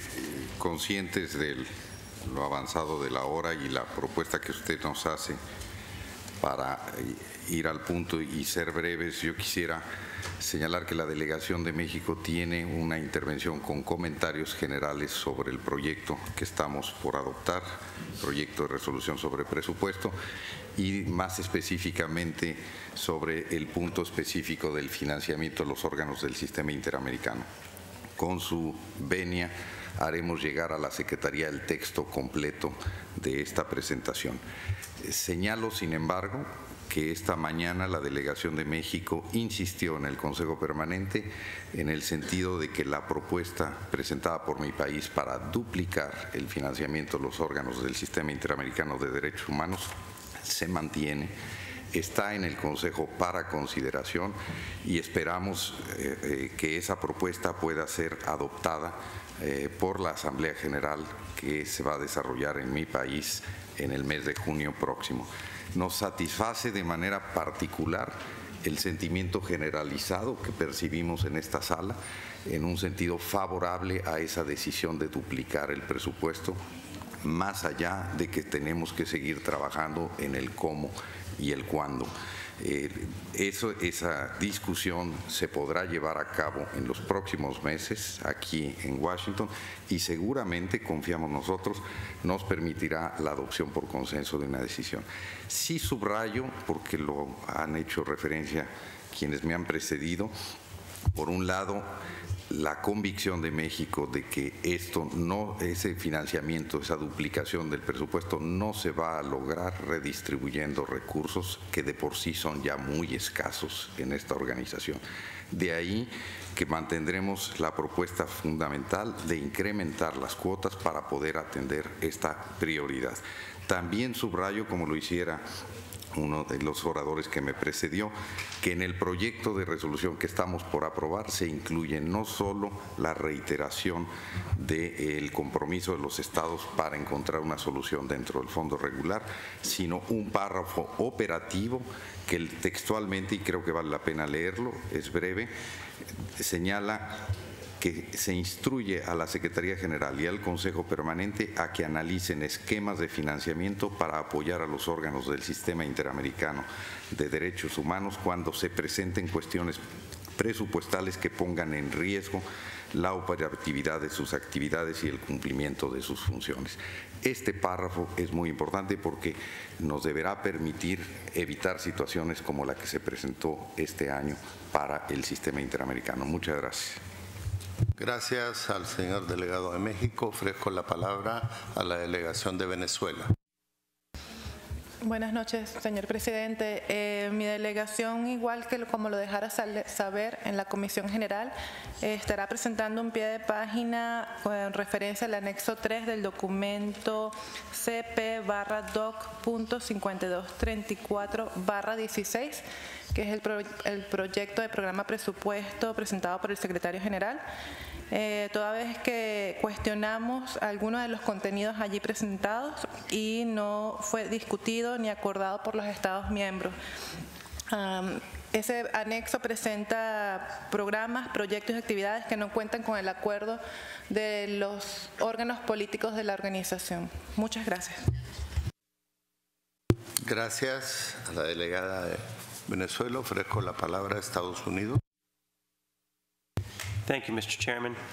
Uh, I wanted to just make a, a couple of brief comments. Uh, first of all, uh, to recognize the uh, the efforts of the Secretariat uh, preparing for this budget debate, uh, in which, for the first time in many years, there were substantial efforts through the lower execution ceiling to take us to a, a more sustainable OAS in the short term while we resolve some of our uh, more medium-term financing questions. Uh, We haven't talked much about that today, but it's uh, actually quite a significant step and one that clearly involves a lot of pain uh, and difficulty, but uh, was absolutely necessary. Uh, The other uh, point I wanted to make is that uh, the United States, uh, like several other delegations here today, uh, strongly supports the Inter-American human rights system and essential work that they do. And like other delegations, we look forward to working with our our colleagues in the months prior to the General Assembly in Mexico to find some sensible solutions to putting the Inter-American system also on a more sustainable financial footing. Uh, And as we do so, I hope that we can also work together uh, to take another look at the system of uh, quota distributions, uh, which uh, we think uh, also could use a- another look. And in, we we look forward to working closely with all of you on those things because the, our consideration of the budget doesn't end today. Thank you. Gracias, Estados Unidos. Ofrezco la palabra al representante de Uruguay. Muchas gracias, señor presidente. Y, muy brevemente, eh, queremos señalar de que eh, Uruguay ha destacado la importancia que le asigna al sistema interamericano de derechos humanos y ha transmitido también su apoyo para lograr una solución al tema del financiamiento de dicho sistema. Queremos decir, asimismo, que Uruguay ofreció ser sede de una reunión de la Comisión Interamericana de Derechos Humanos en el año 2017. Asimismo, Uruguay acaba de realizar recientemente contribuciones voluntarias a las relatorías especiales de la libertad de expresión y también a la Relatoría Especial de Derechos Económicos, Sociales y Culturales. Y en ese sentido, señor presidente, queremos decir, como dijeron diversas delegaciones, que el texto eh, que culminamos en el día de hoy del proyecto de resolución incluye diversas referencias, tanto en la parte preambular como también en la parte resolutiva, como dijeron diversas delegaciones, que refieren también al sistema interamericano de derechos humanos. Quiero destacar que obviamente Aquí participan y participaron en esta negociación 34 delegaciones, miembros de la organización, y ese es el resultado al que se logró llegar luego de intensas negociaciones en las últimas semanas. Así que habiendo dicho eso, señor presidente, es lo que queríamos señalar en cuanto a que Quizás el resultado para algunas delegaciones con relación a este tema no haya sido el deseado, pero creo que eh, varias delegaciones transmitimos la importancia del sistema interamericano y que quedaron también refleja- reflejadas disposiciones en este proyecto de resolución que consideramos son importantes. Gracias. Muchísimas gracias al señor representante de Uruguay. Ofrezco la palabra a Ecuador. Gracias, señor presidente. Me parece que ya es el momento, antes me había adelantado, solamente para dejar claro que Ecuador no acompaña el consenso sobre el presupuesto, que pide eh, una nota de pie de página, eh, como se estila y como ya le he explicado la Secretaría Jurídica, serían las cinco primeras líneas y en la parte final el contenido de las tres páginas que me permití leer. Muchísimas gracias eh, explicó la delegación que así como lo ha sugerido quedará consignado Perú. Gracias, señor presidente. Como las demás delegaciones, enviaremos la intervención que teníamos prevista por escrito, pero no queremos dejar de señalar que nuestro país ha acompañado la propuesta de México para financiar el sistema de derechos humanos mediante el incremento de cuotas y con ese mismo espíritu continuaremos el diálogo para poder alcanzar un consenso con vistas a la próxima Asamblea General. Gracias. Muchísimas gracias. Ofrezco la palabra al señor representante de Chile.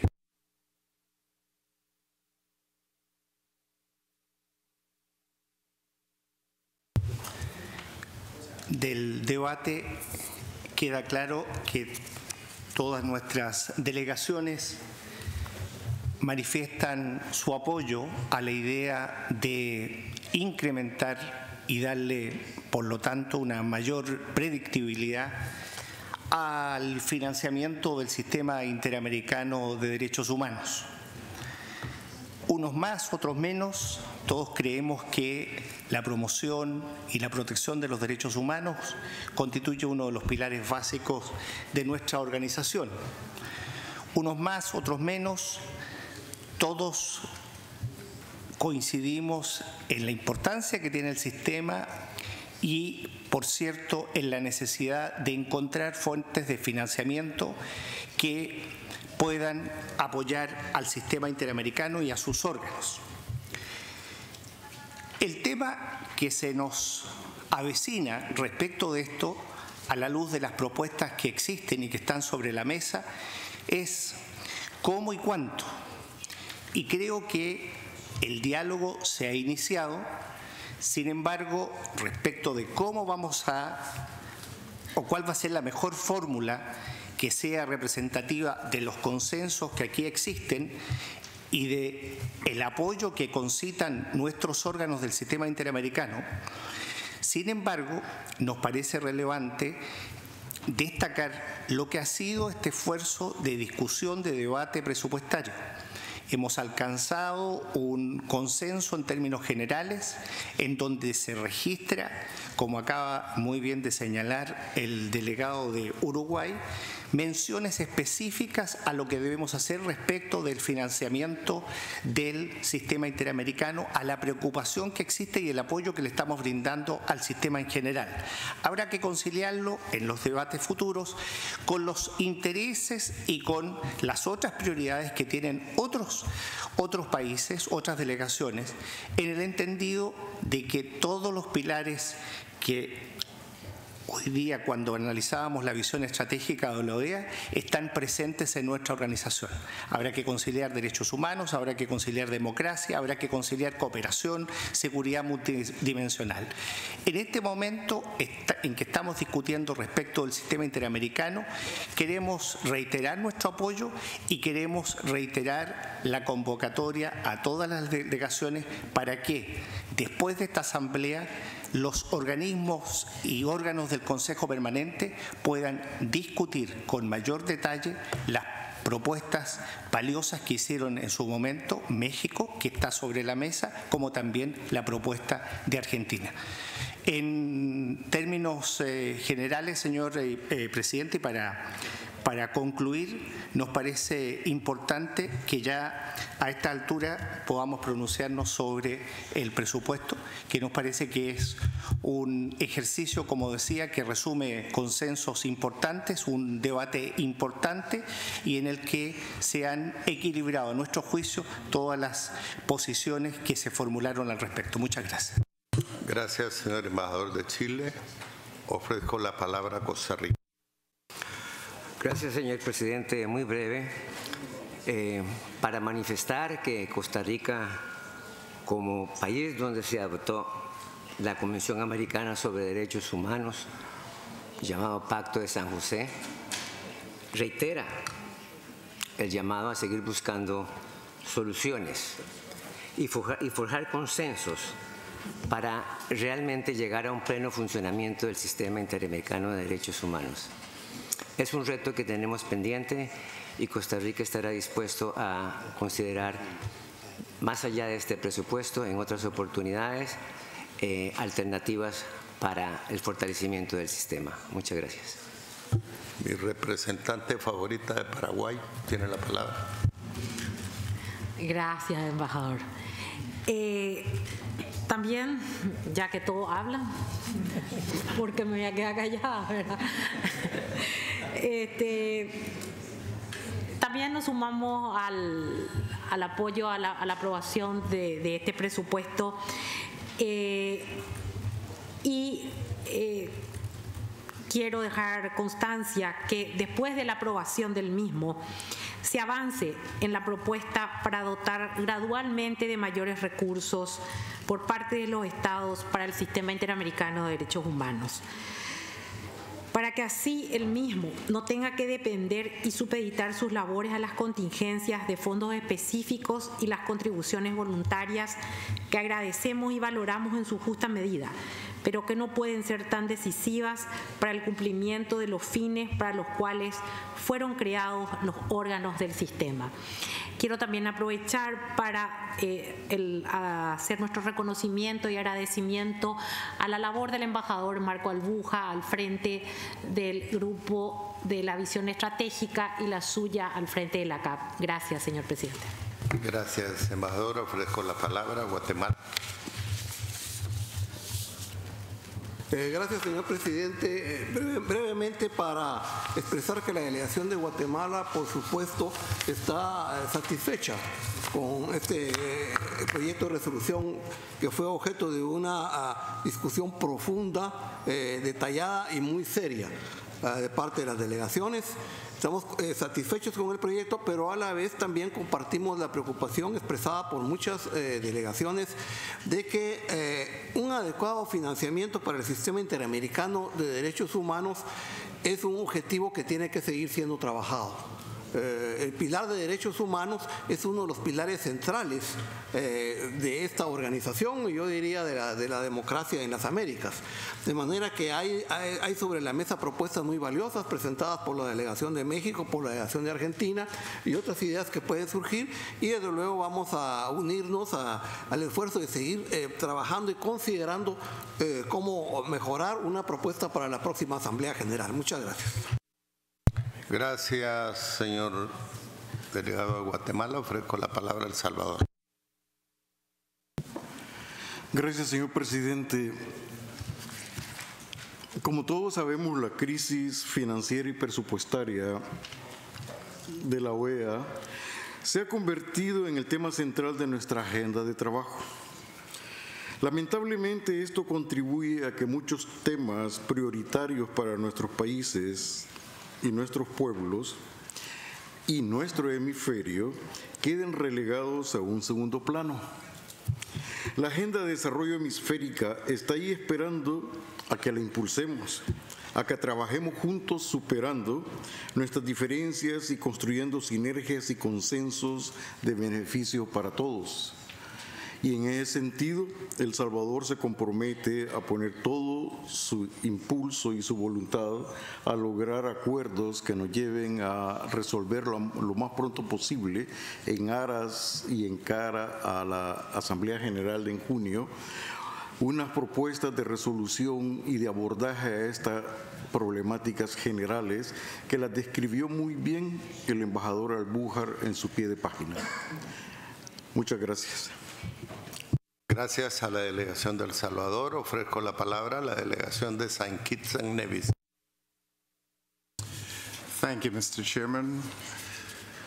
Secretary General Almagro, Assistant Secretary General Mend- Nestor Mendez, I have the distinct honor and privilege to speak on behalf of the 14 member states of CARICOM on this most important occasion.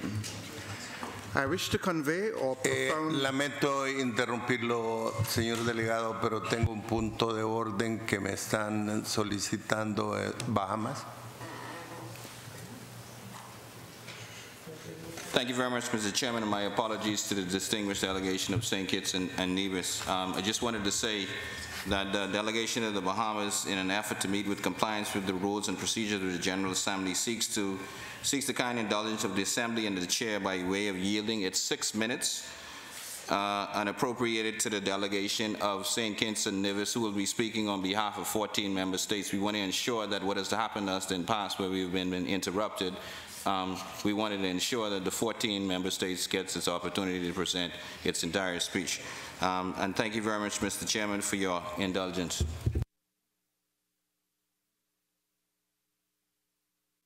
Tomamos nota, aunque eso va contra una regla que había fijado la distinguida delegada de Paraguay, que había puesto al referéndum que solo eran dos minutos. Por favor, esto es. Adelante, San Quitan Nevis, puede hacer uso de la palabra. continue at that point. Um, I wish to convey our profound gratitude to the chair of the Committee on Administration and Finance, His Excellency Leonidas Rosa Bautista of Honduras, and his two vice chairs, His Excellency Patrick Andrews, Permanent Representative of Belize, and Mrs. Cynthia Houghton, Alternative Representative of Argentina, and the respective working groups for their yeoman's work and efforts towards deriving a program budget that would best reflect the inputs of all member states. CARICOM recognizes that this was not an easy task by any stretch of the imagination. We sincerely appreciate their assistance, along with members of the General Secretariat, on navigating through waters which have been raging and fraught with uncertainty. CARICOM offers its abiding desire to transform our organization into an effective and relevant collective body corporate that will engender, engender hope and will deliver a brighter future for our hemisphere. We therefore pledge to continue to cooperate and work closely as we seek to chart the OAS course through the current storm onto safe, tranquil, and productive shores. Mr. Chairman, CARICOM stands firmly with other delegations that will support an organizational vision and strategy that will culminate into a plan of implementation which will address the financial and administrative health of the OS. These initiatives should span over the long term and must not be confined to short or medium term quick fixes. For many years, the OAS has taken an ad hoc and reactionary approach to planning and in the formulation of its annual program budgets. The resultant impact has been chronic and expansive recurrent deficits, arbitrary expenditure reductions, incestuous borrowing, and unresponsive organizational realignments. Therefore, Mr. Chairman, CARICOM is emphatic in, in, its expectation that management, planning, and budgeting in the OS should be driven by objectives, thereby being results based in its orientation and application versus being subjected to instances of crisis and exigency. In order to turn the tide and to be able to weather the storm, the organization, in partnership with member states, must commit to implementing critical reforms. These reforms must be inclusive of the revision of the current archaic and outpaced legislative framework. Modernization of operations will be negated or nullified in the absence of reforms to the foundational basis of authority which is embodied in the organization's statutes. The OS must therefore restore financial fundamentals in its administrative processes and its fiscal management costs and expenditures must be rationalized, and income and revenue generation must be predictable and sustainable. The organization should seek to reposition itself to attain and direct its technical competences to, addresses, to address, in real dollar terms, the costs albeit human resources or opportunity costs, which are associated with its business operations and should suspend, should respond to the demands relative to the fulfillment of its mandates. The organization must determine and identify operational deficiencies and efficiencies and recognize areas where opportunities may exist or may emerge in order to adjust its approaches accordingly.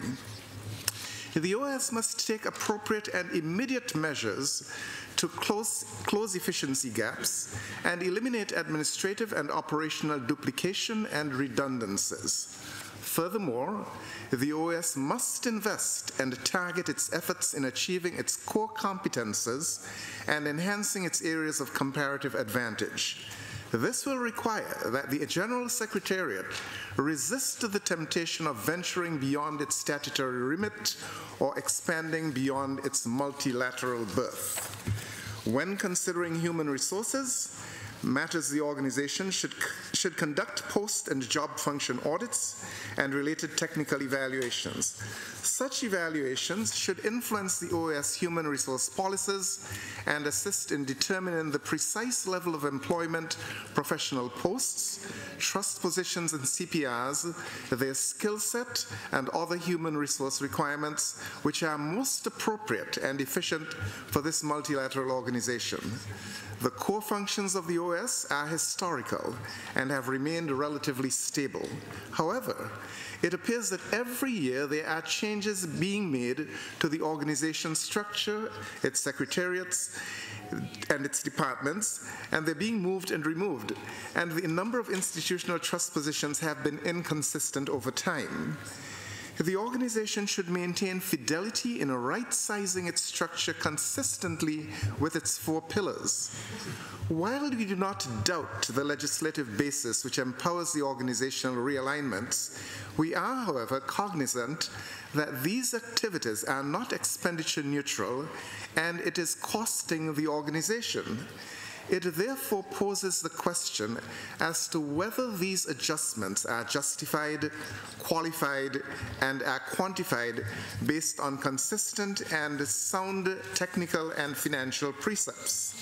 The OS should impose specific institutionalized measures to address fiscal discipline and restraint.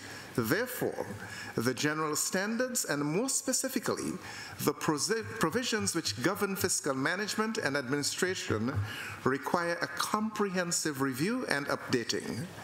While CARICOM applauds intention to review chapters 7 and 8 of the general standards, a piecemeal approach is not adequate and may further ex exacerbate the reforms and the reform process that is underway. CARICOM also looks forward to the expediting of the competitive process for the selection of a substantive Inspector General and reaffirm the importance of a robust staff to facilitate the strong internal audit functions in the OS. The organization must be, predicate its financial management and administration on best business practices and accepted international standards. Mr. Chairman, CARICOM is committed to an OS which will implement human resource policies which are merit-based, equitable, transparent, and non-discriminatory.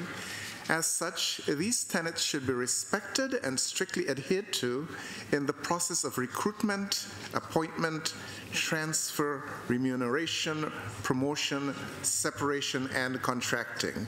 Mr. Chairman, CARICOM is of the firm conviction that proper and meaningful alignment, attention rather, be rendered in respect of geographic representation at all levels and layers of the organization. Moreover, rhetoric must be replaced by implementation in order to materialize the frequent commitments which were made to enact an affirmative action in the human resource policies of the OS. Notably, I note that CARICOM represents 40% of the membership, yet we represent only 8.9% of the OS staffing. The current financial crisis of the OS is rooted in the global financial crisis affecting member states and the ability to meet the quotas in a timely manner, with few exceptions. The economic challenges of the region are captured in World Bank reports on the economic outlook for Latin America and the Caribbean from 2013 to 2016.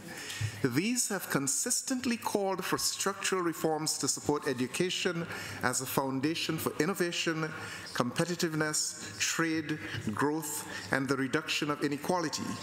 While the region's economic failings have contributed to the financial crisis of the US, the converse is also true the economic success of the hemisphere would underpin a more robust organization of American states. Therefore, attempts to rationalize the budget of the OS should not undermine the growth prospects for the member states of the region, particularly more vulnerable economies that depend on the Secretariat for Integral Development. Mr. Chairman, the development pillar should not be disadvantaged in favor of any other. CARICOM is of the view that SETI is one of the most productive areas of the Secretariat in terms of fundraising performance and impact of the programs. CARICOM supports the one SCD, SCD structure and strategy elaborated by the Executive Secretariat of SETI.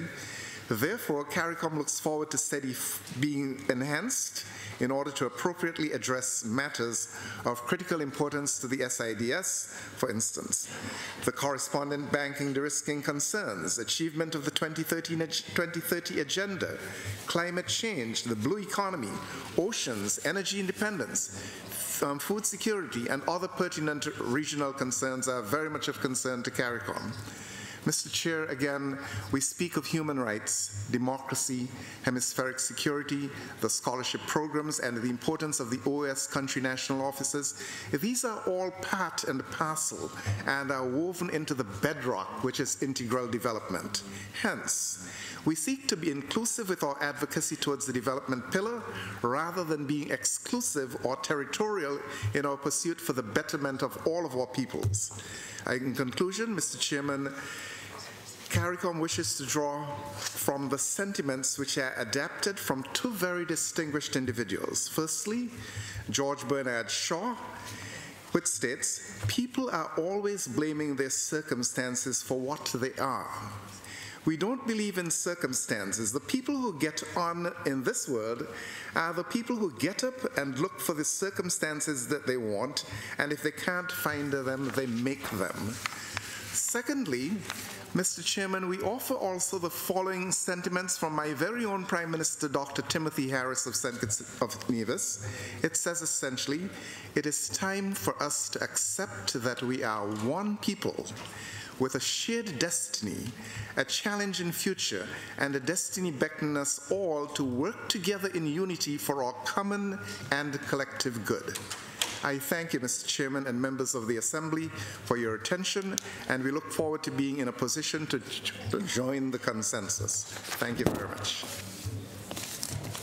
Agradecemos al representante permanente San Nevis, por embajador Hall, por sus reflexiones importantes a nombre de CARICOM y de su representación de San Quitan Nevis, de las que hemos tomado debida nota.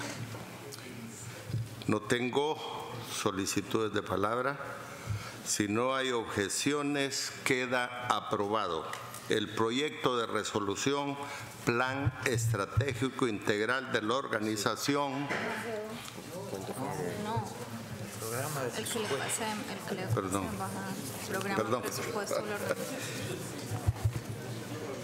¿Quién está? Brasil. Brasil.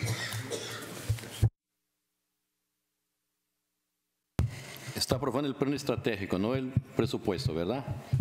No, no, ese ya lo aprobamos. Discúlpeme, embajador, es eh, un poco también el cansancio. Estaba eh, con el mismo documento que dice exactamente aprobar uno y el otro, pero ahora mismo le doy la lectura correcta.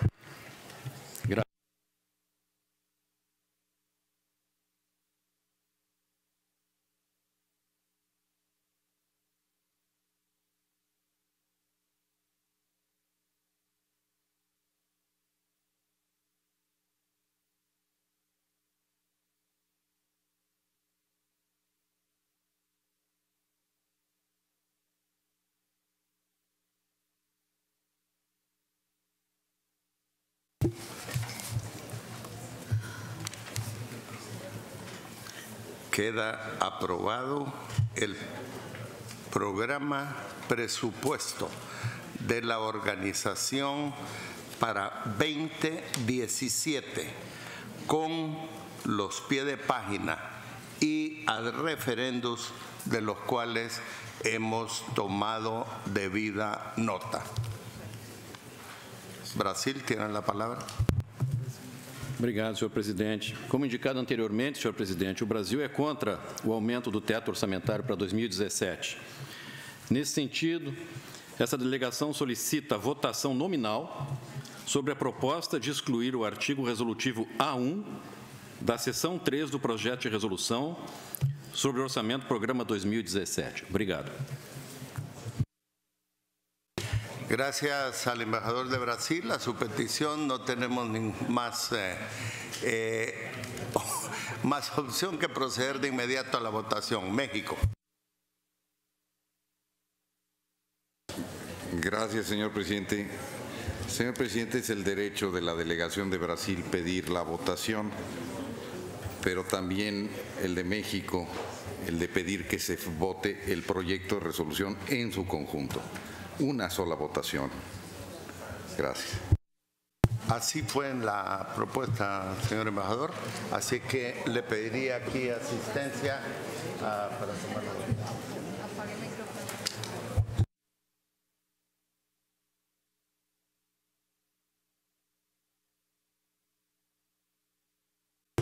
Vamos a extraer un nombre y lo vamos a hacer muy rápidamente.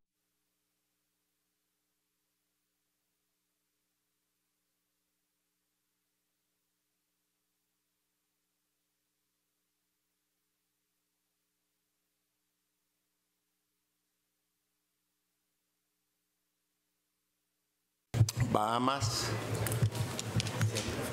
Mr. Chairman, um, my delegation would just like some clarification. We'd like for you to read the section that we're actually being called to vote on. In addition to that, we'd like you to frame the question appropriately so we ensure that we are voting in the manner that we intend to vote. Forgive me for being pedantic, but I think we need to make this abundantly clear. Thank you.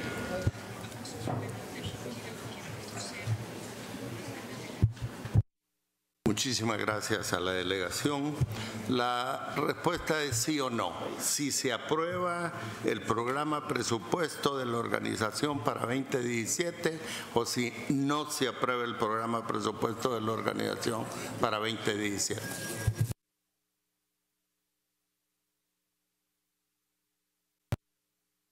Venezuela tiene la palabra. Eh, gracias, presidente. Eh, tenemos sobre la mesa dos propuestas, una que señala Brasil y otra que señala México. En ese sentido, entiende nuestra delegación que de acuerdo al procedimiento correspondería votar por separado las propuestas.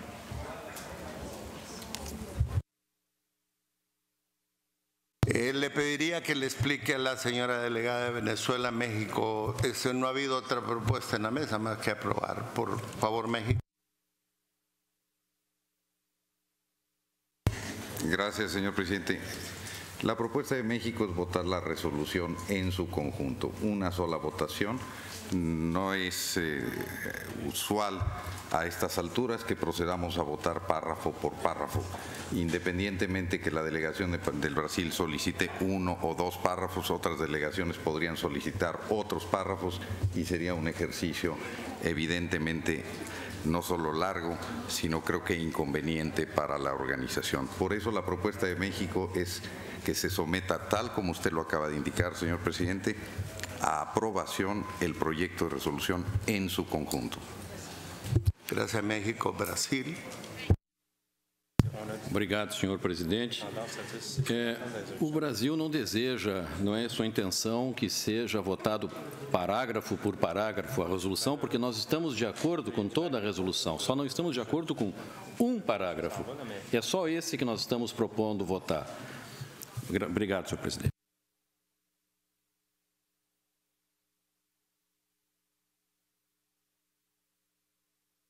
Bolivia tiene la palabra. Gracias, señor presidente. Nosotros también apoyamos la propuesta de Brasil de votar solamente el párrafo que quedó pendiente y que vino así desde la Comisión de Asuntos Presupuestarios y Administrativos. El resto de la resolución tiene un acuerdo, han llegado a un consenso en las delegaciones sobre el resto de los párrafos, excepto este párrafo. Gracias, señor presidente.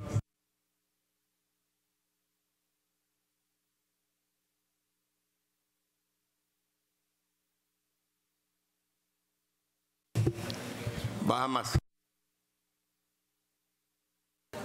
Mr. Chairman, maybe it's a little late in the afternoon for the Bahamas. It's probably very close to my bedtime. However, I have still not received an answer to my initial question. What paragraph, and can the Secretariat read out the paragraph that we're being asked to vote for? Because I'm a little confused. There are, there are actually two proposals now. One is to vote on the entire budget, and then the other one is to vote on one paragraph. I'd just like to know which paragraph that is so I can know how to vote. Thank you very much, Mr. Chairman. México. Gracias, señor presidente. Para beneficio de mis colegas, particularmente del Caribe, voy a hablar en inglés. The proposal of Mexico is to vote the resolution as a whole. The proposal of Brazil is to vote as a separate vote, one paragraph, that the result of the voting of that paragraph will affect the entire resolution. And we can spend days, not hours, rebuilding the resolution. With all due respect to the delegation of Brazil, I cannot accept to vote that paragraph separately. My proposal is to vote it as a whole, and if needed, I will propose we vote on my proposal.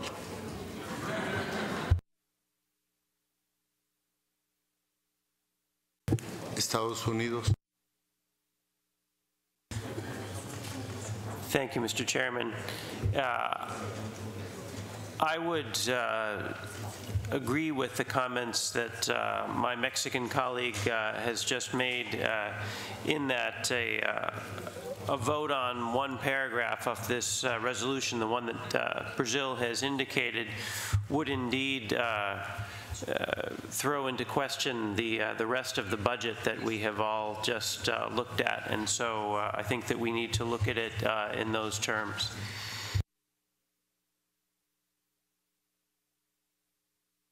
Gracias a Estados Unidos.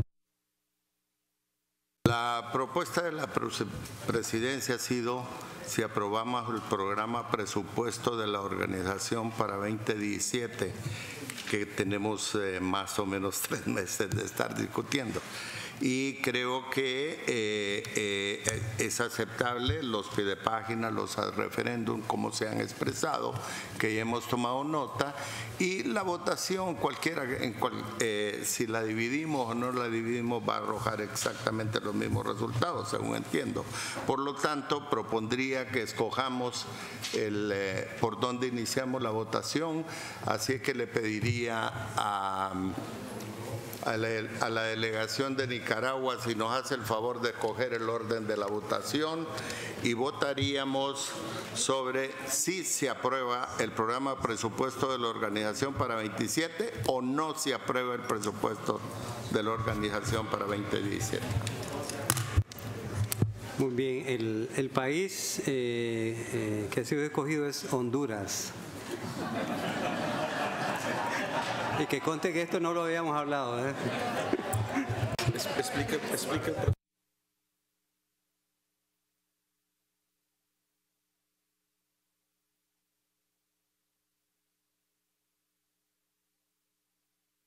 Brasil. Brasil.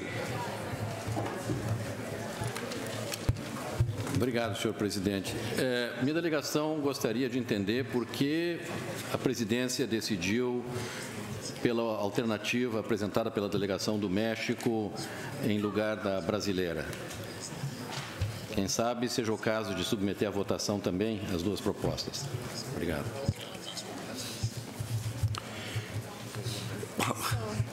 Estimado embajador de Brasil, eh, no quisiera, obviamente podemos votar si eh, usted está pidiendo que votemos sobre un punto específico, que no se apruebe el 3% o que se apruebe.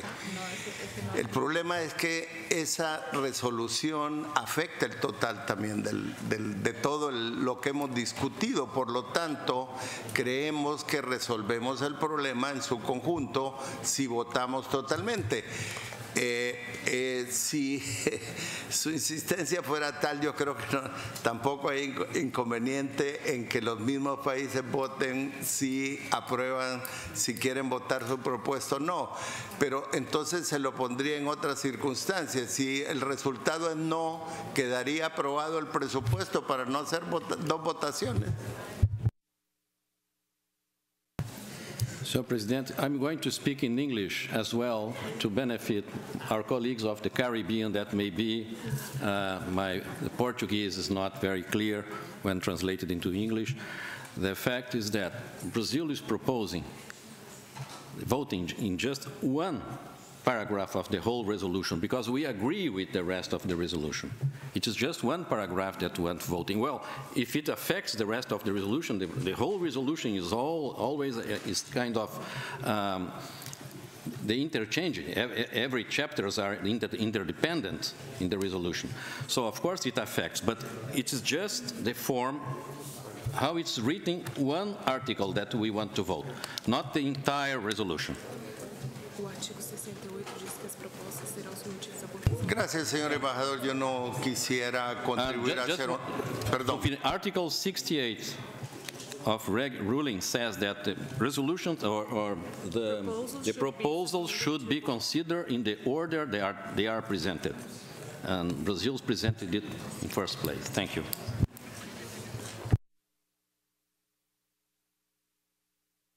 Ofrezco la palabra a México. Señor presidente, no hay dos propuestas en la mesa. Hay una propuesta de la delegación de Brasil a la que México se ha opuesto. Y hay un ruling de la presidencia que era favorable al planteamiento de México y que pudiera ser ajustado. Pero no hay dos propuestas. Eh, lo que México hizo fue oponerse a la propuesta de Brasil y señalar que pedíamos, y es nuestro derecho, una votación del proyecto en su conjunto. Estamos hablando de presupuesto, estamos hablando de reglas de procedimiento que implican mayorías superiores a la, mínima y que por lo mismo cualquier alteración de cualquiera de los párrafos desequilibra completamente la resolución y habría que entrar a discutir uno por uno cada uno de esos párrafos. Eh, en el entendido de mi delegación es que la delegación de Brasil se pudo pronunciar sobre el tema bajo discusión cuando lo consideró el Consejo Permanente. Y recuerdo bien que la delegación de México, eh, perdón, de Brasil, se opuso en su momento a esa decisión. Pero la decisión mayoritaria debe prevalecer en opinión de México y sobre todo ahora cuando estamos considerando el conjunto del, presupuesto. Eh, la propuesta de Brasil en opinión de México y por eso me opuse eh, nos corre el riesgo de desarticular el total de las disposiciones, no unas cuantas. Gracias.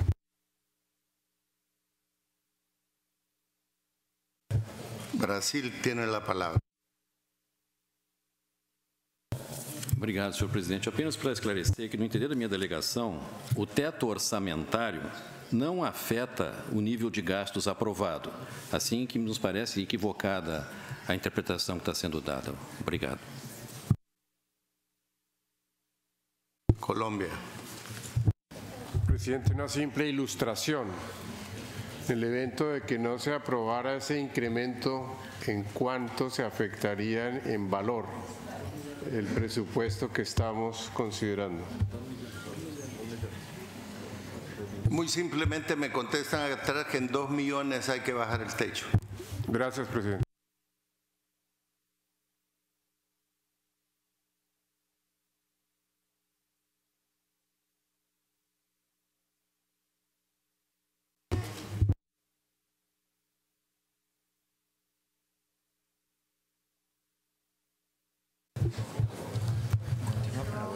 Brasil, nuevamente le pregunto, ¿tiene una objeción a que votemos como ha propuesto la presidencia o le pasamos la palabra al departamento legal a ver si nos asesora para dilucidar el conflicto? Bueno.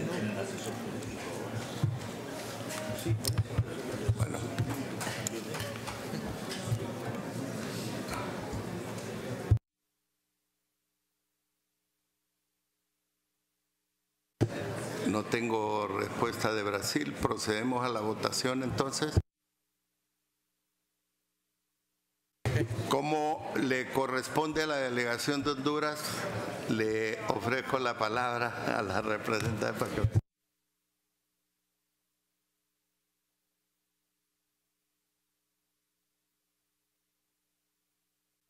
Vamos a votar sí o no. Si se aprueba el presupuesto programa, el programa presupuesto de la organización para 27 o no se aprueba el presupuesto programa. México. Señor presidente, el asunto tiene tal implicación que yo le pediría cinco minutos para que pudiéramos conversar entre las delegaciones informalmente y ojalá venir con una propuesta que sea eh, consensual sobre cómo proceder. Cinco minutos de pausa para poder conversar con las delegaciones.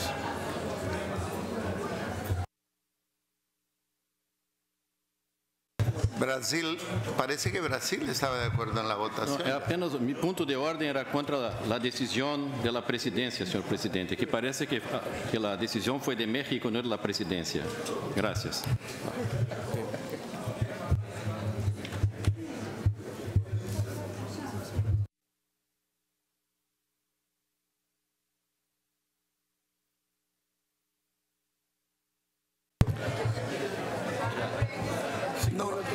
No queremos hacer un debate aquí trágico sobre esto. Ofrezco los cinco minutos solicitados.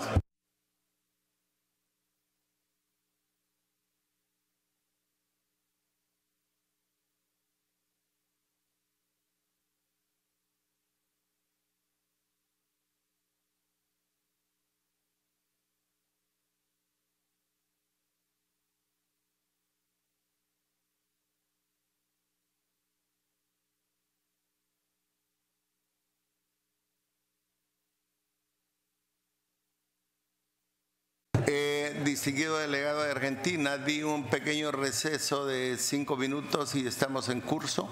Si me permite un segundo, lo... Ahora tomo nota porque no sé, se, se armó toda una cosa, un, un murmullo, un tipo carnaval y no teníamos noticia de que se hubiera levantado la sesión en ningún momento. Eh, dije que concedía cinco minutos de receso para una conversación inmediata entre las delegaciones que tenía. Muchas gracias, embajador. Muchas Le gracias, agradezco. muchas gracias, presidente.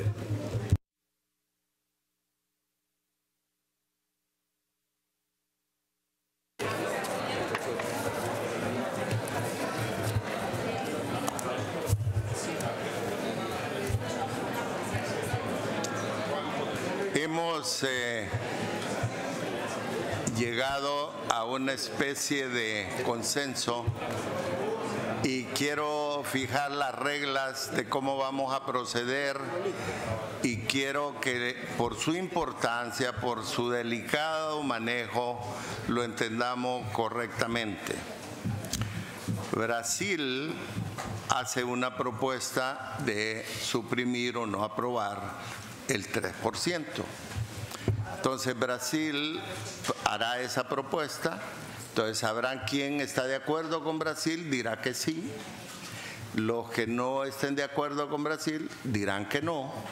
Pero quiero aclararles que los sí necesitan ser más de dos tercios porque se está de acuerdo al reglamento. Entonces, si Brasil nos hace la propuesta de suprimir, eliminar o no aprobar el párrafo que contiene el 3%, le diremos a él que sí. Si no estamos de acuerdo con Brasil, pues le diremos que no. Entonces la votación iniciará en ese contexto. Entonces, si estás de acuerdo con la propuesta de Brasil, es sí. Si no estás de acuerdo con la de Brasil, es no, para simplificarlo. ¿Sí o no? Brasil. Obrigado, senhor presidente. O Brasil propõe, assim, a eliminação do parágrafo A1 da seção 3 do, do programa, orçamento programa da organização para 2017. Muito obrigado. Ustedes han escuchado entonces la propuesta de Brasil, él propone la eliminación del párrafo, entonces quienes estén de acuerdo con Brasil votarán sí, quienes no estén de acuerdo con Brasil votarán no. La única aclaración reglamentaria es que la propuesta de Brasil deberá reunir un mínimo de dos tercios, según el reglamento. Así que entonces procedemos.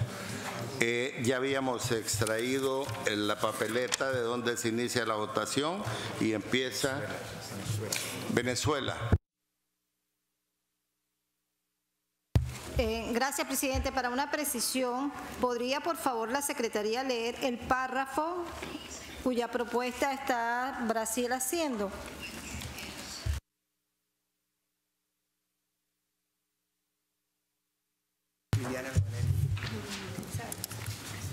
Con su venia, presidente. Está en la página 9 en la versión en español. Aprobar la resolución CPRS 1065 2081 diagonal 16 sobre el financiamiento del programa presupuesto de la organización 2017 adoptada por votación de acuerdo con el artículo 55 de la Carta por el Consejo Permanente el 29 de junio de 2016 a referéndum de la Asamblea General. Párrafo aprobado a referéndum de las delegaciones de Brasil y Venezuela.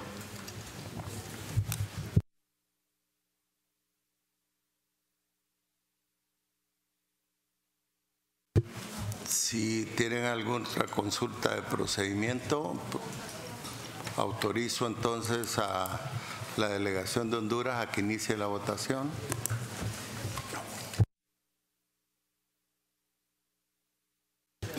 Gracias, señor presidente. No estamos de acuerdo.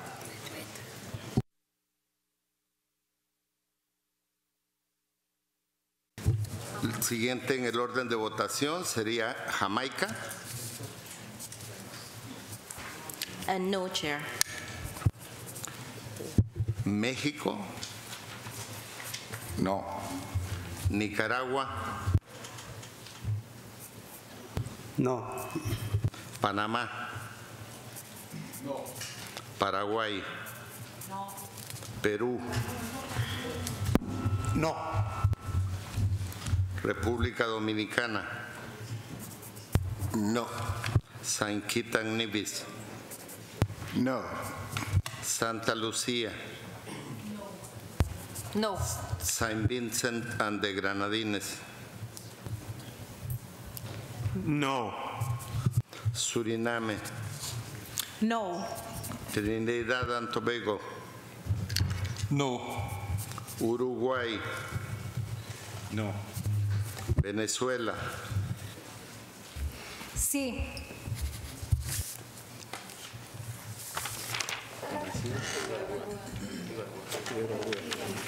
Antigua y Barbuda. No. Argentina. Bahamas. No, Mr. Chairman. That's no. Barbados. No. Belice. No, Mr. President. Bolivia. Bolivia se abstiene. Abstención. Brasil. Sim, senhor presidente. Canadá. Yes. Chile.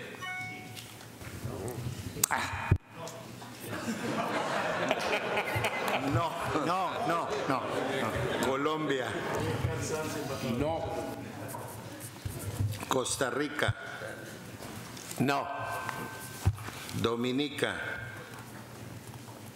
No. Ecuador. Yo ya voté no a todo, señor presidente. Ok. Ok. El Salvador. No. Estados Unidos. No, Mr. President. Grenada. Grenada. Ausente. Ausente. Guatemala. No. Guyana. No, Mr. Chairman. Haití. Non, Monsieur le Président.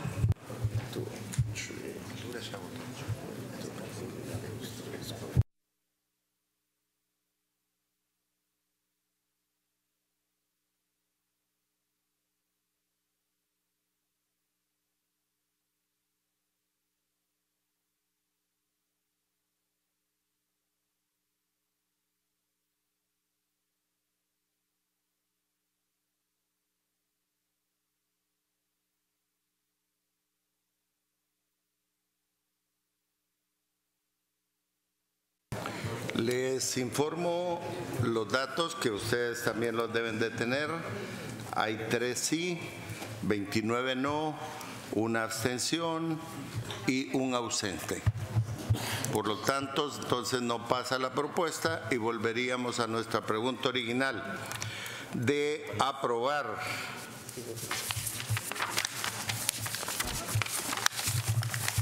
el programa presupuesto de la organización para el 2017. Si no hay más objeciones, queda aprobado.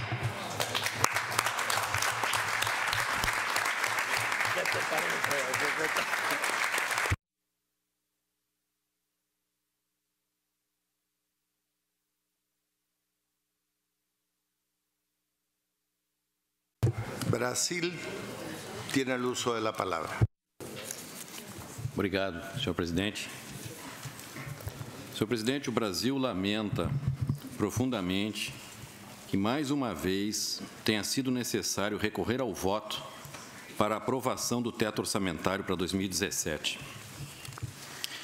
E que isto tenha sido feito desconsiderando a prática consagrada na Organização dos Estados Americanos da busca do consenso de todos os Estados-membros para aprovação de matérias orçamentárias.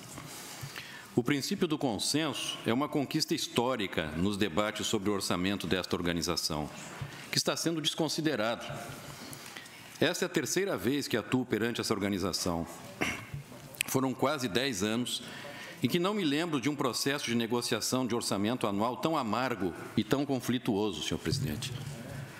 Não terá sido certamente apenas como decorrência das dificuldades financeiras atuais, pois a OEA já enfrentou sérios problemas dessa natureza em ocasiões anteriores. Apesar de grandes esforços, e desejo registrar aqui o reconhecimento dessa delegação ao trabalho do meu colega Leônidas Rosa Bautista de Honduras, na presidência da CAAP. O processo negociador, assim como seu resultado, reflete um ambiente conturbado, em que se deram as discussões e não deixam de evidenciar também a divergência que existe entre os Estados-membros. Este ambiente difícil tem várias causas, sobretudo políticas, mas entre elas sobressai o movimento, iniciado em junho passado, de buscar aprovar aumento do orçamento por maioria e não por consenso, como é a larga tradição desta organização. Cabe registrar, a propósito, que os três maiores contribuintes, entre eles o Brasil, junto com outros países, não apoiaram essa decisão quando foi considerada naquela ocasião. O Brasil, pelas mesmas razões de então, explicitadas novamente há pouco na presente sessão, vê-se obrigado a posicionar-se da forma mais contundente contra uma matéria levada à mesa, apesar de ser amplamente sabido que ela desconsiderava sua posição. Trata-se, portanto, da perspectiva do Brasil de um processo orçamentário contaminado pela imposição. Ao invés de amenizar as diferenças, foi forçada uma decisão de outros estados iguais e soberanos, que terão, além disso, de arcar com o ônus dessa decisão, da qual não compartilham. Os estados, vale lembrar, não se confunde com os indivíduos, e seus governos devem prestar contas a seus cidadãos, cujos impostos garantem a sua existência e todas as suas atividades. Por essa razão, senhor presidente, a decisão de hoje, tomada da forma como foi, não poderá ser facilmente explicada a nossas autoridades internas e será, portanto, de difícil compreensão. O consenso, na visão do Brasil, deve permanecer a linha mestra em qualquer debate sobre o orçamento de uma organização internacional. Em vez de divisão, demonstra-se unidade. Em lugar de conflito, ao consentimento do Estado. A imposição, ainda que prevista no regulamento, vicia o processo, bem como seu resultado. Nessas condições, o Brasil vê-se forçado a reafirmar sua oposição à decisão de junho de aumentar pelo voto o teto orçamentário, criando precedente pernicioso para essa organização. E expressa novamente sua objeção e sua inconformidade ao votar contra os parágrafos preambular 3 da seção 3 do projeto de resolução, hora em exame, na expectativa de que o episódio semelhante não venha a se repetir. Senhora Presidente, essa delegação fará chegar à Secretaria texto da seguinte nota de rodapé para inclusão na resolução, de modo a deixar o registro de forma cabal e inequívoca da firme oposição do Brasil ao aumento do teto orçamentário para 2017, uma vez mais a sua revelia. É a seguinte a nota, senhor presidente. O Brasil não pode apoiar o aumento de 3% no teto orçamentário para 2017 e lamenta profundamente que esta decisão não tenha sido adotada por consenso. Tomar decisões de caráter orçamentário por meio do voto rompe prática consolidada na OEA de busca de consenso nessa matéria e pode representar problema significativo para deliberações futuras sobre questões financeiras da organização. Muito obrigado, senhor presidente. Gracias a la delegación de Brasil. Ofrezco la palabra a Venezuela. Gracias, presidente. Eh, la delegación de Venezuela desea que el, el texto que vamos a leer a continuación conste como pie de página al proyecto de resolución. La República Bolivariana de Venezuela no acompaña el aumento de las cuotas al Fondo Regular de la OEA por considerar que la misma no considera, habría que hacer un ajuste, la situación económica y prioridades en los Estados miembros. La Secretaría General debe tomar medidas para recuperar la confianza de los Estados miembros en el manejo del programa presupuesta de manera que atienda las prioridades de decidida por esto. Gracias, presidente.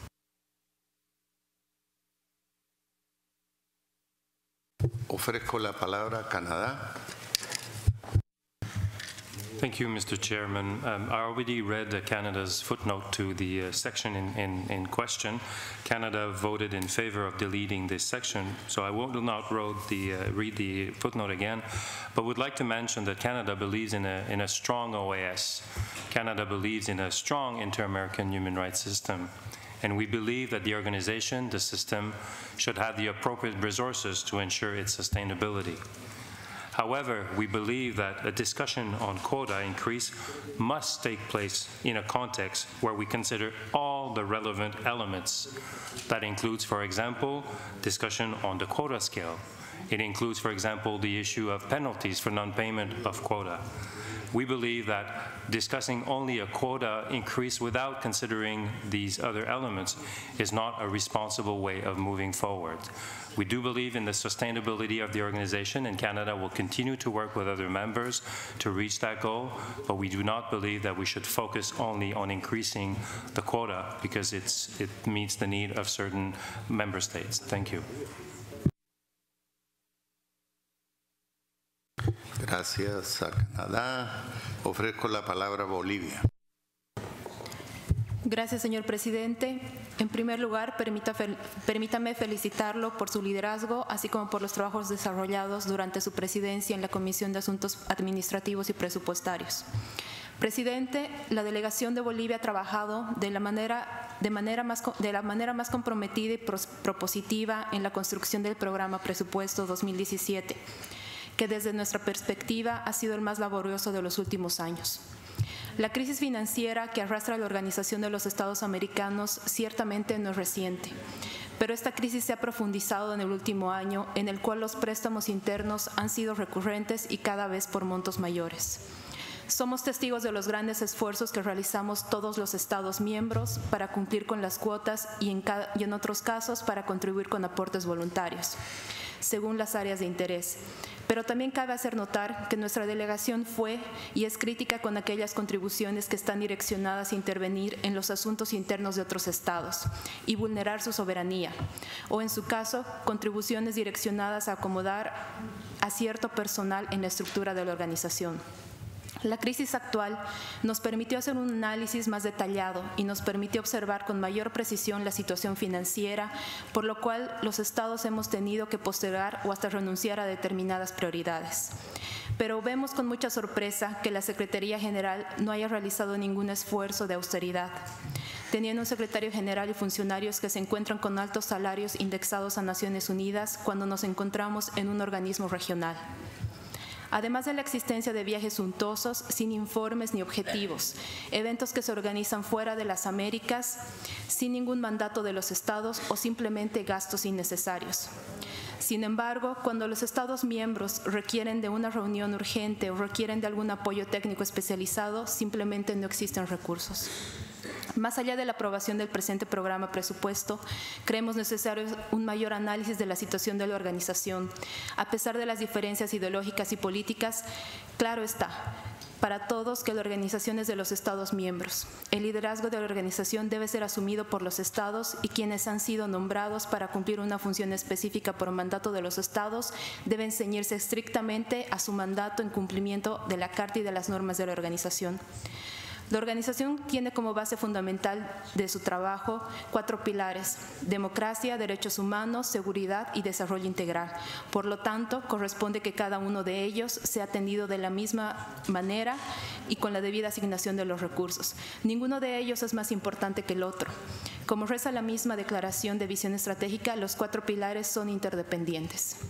De la misma manera, antes de concluir, permítame referirme al plan estratégico de la OEA, en diferentes momentos ya nos hemos referido a este tema. Consideramos que lo que hoy tenemos es insuficiente, que aún requiere ser concluido y que el documento que, que se ha aprobado efectivamente es un gran avance. Por aquello queremos agradecer al grupo de trabajo y a su presidente, el embajador Marco Albuja. Muchas gracias, presidente.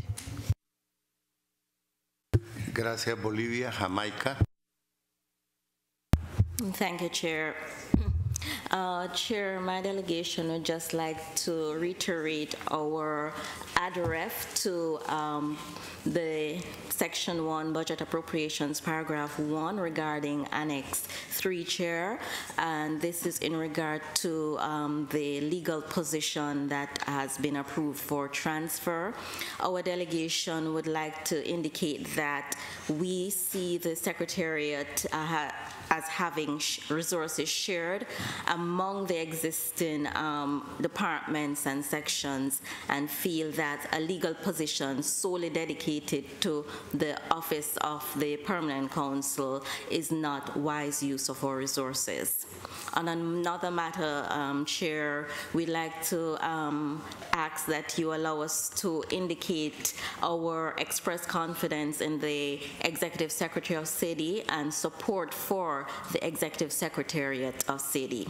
My delegation, Chair, is aware of the challenges confronting the OAS and the significant negative impact on the development pillar.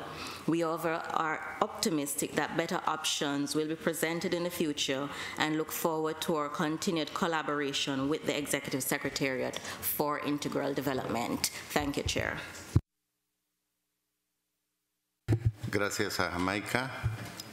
Eh, no, no tengo más solicitudes de palabra, pero antes de, de continuar, quisiera hacer una especial mención de reconocimiento y saludamos la presencia en la sala de, el, del señor comisionado de la Comisión Interamericana de Derechos Humanos, don James Cavallaro, y del juez de la Corte Interamericana de Derechos Humanos, Eduardo Ferrer Margregor, así como de don Paolo Abreu, eh, secretario ejecutivo de la Comisión Interamericana de Derechos Humanos y los miembros de su equipo. Y reiterarle en lo que corresponde personal el esfuerzo que hemos hecho eh, desde la CAP y en todas estas discusiones de preservar la motivación de todos los estados para concluir, para arribar eh, encontrar las mejores eh, formas, las mejores decisiones para fortalecer y dar un financiamiento pleno al sistema interamericano de derechos humanos y creo que la discusión del tema va a ser saludable. La CAP eh, continuará trabajando en este tema de inmediato hasta cesar en sus funciones cuando lo decida la próxima asamblea. Por lo tanto, tienen en todos nosotros y en el equipo de la CAP que no solo está integrado por los embajadores, sino con la fortaleza de todo cada uno de los miembros de las delegaciones, que eh, de lo que puedo dar fe, que demuestran su talento, su dedicación, su inteligencia y su propósito de preservar los mejores intereses de la OEA. Dicho estas palabras y no habiendo más solicitudes, eh, doy por concluida la consideración de los puntos en el temario, habiendo aprobado pues el programa presupuesto, lo cual constituye un gran éxito. Incorporaremos las, eh, los pies de páginas que se han establecido. Procedemos, procederemos inmediatamente a la sesión de clausura del 51 primer periodo extraordinario de sesiones, por lo que levanto esta sesión. De inmediato, de inmediato pasamos al acto protocolario de clausura, que no significa más que decirles, señores jefes de delegación, señoras y señores representantes de los Estados miembros, señor secretario general de la OEA, Luis Almagro Lemes, señor secretario general adjunto de la OEA, embajador Néstor Méndez, señores observadores permanentes, representantes de los organismos internacionales, invitados e invitadas especiales.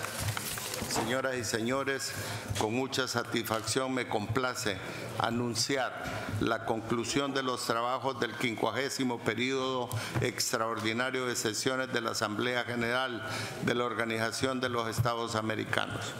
La aprobación del programa presupuesto de la organización para 2016 es el resultado del esfuerzo y la dedicación de las delegaciones y de la Secretaría. A todos los involucrados en esta tarea, un agradecimiento en nombre de la, de la Asamblea General y en el mío propio agradecer algunas manifestaciones de felicitación que se dieron en la CAP. Más bien yo soy el agradecido de haberme dado esta oportunidad y haberme hecho aprender un poco más de las interioridades de la OEA con ánimo de fortalecer su futuro. Quiero ofrecer la palabra al secretario general de la OEA, Luis Almagro, eh, para una breve intervención. Gracias. Gracias, señor presidente. Veces las cosas están dichas en algún discurso anterior y no es necesario innovar y hacer uno nuevo. En este, durante esta asamblea me he sentido como en algún otro tiempo, más de 200 años atrás, se sintió alguien que dijo que mi autoridad emana de vosotros y ella cesa por vuestra presencia soberana. Vosotros estáis en el pleno goce de vuestros derechos y ved ahí el fruto de mis ansias y desvelos y ved ahí también todo el premio. Yo tengo la satisfacción honrosa de presentaros de nuevo mis sacrificios y desvelos y agradezco especialmente el esfuerzo de ustedes por rescatar a la organización hoy de su crisis financiera. Agradezco el trabajo que se ha realizado durante este tiempo por cada uno de los eh, funcionarios de las misiones y de los representantes per permanentes y alternos. Y eh, vamos a entregar al presidente de la Asamblea General eh, las eh, banderas de la Organización de Estados Americanos. Quizás un tercio de las mismas sería justo que se las diera a Elisa, pero así es la vida, te tocan a vos.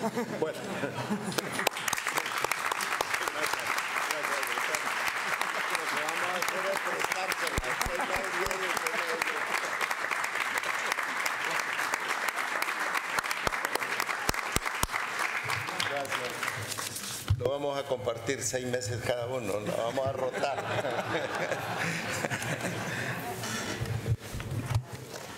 Bueno, señores, con la satisfacción del deber cumplido, damos por clausurado este 51 primer periodo de sesiones extraordinarias de la Organización de Estados Americanos.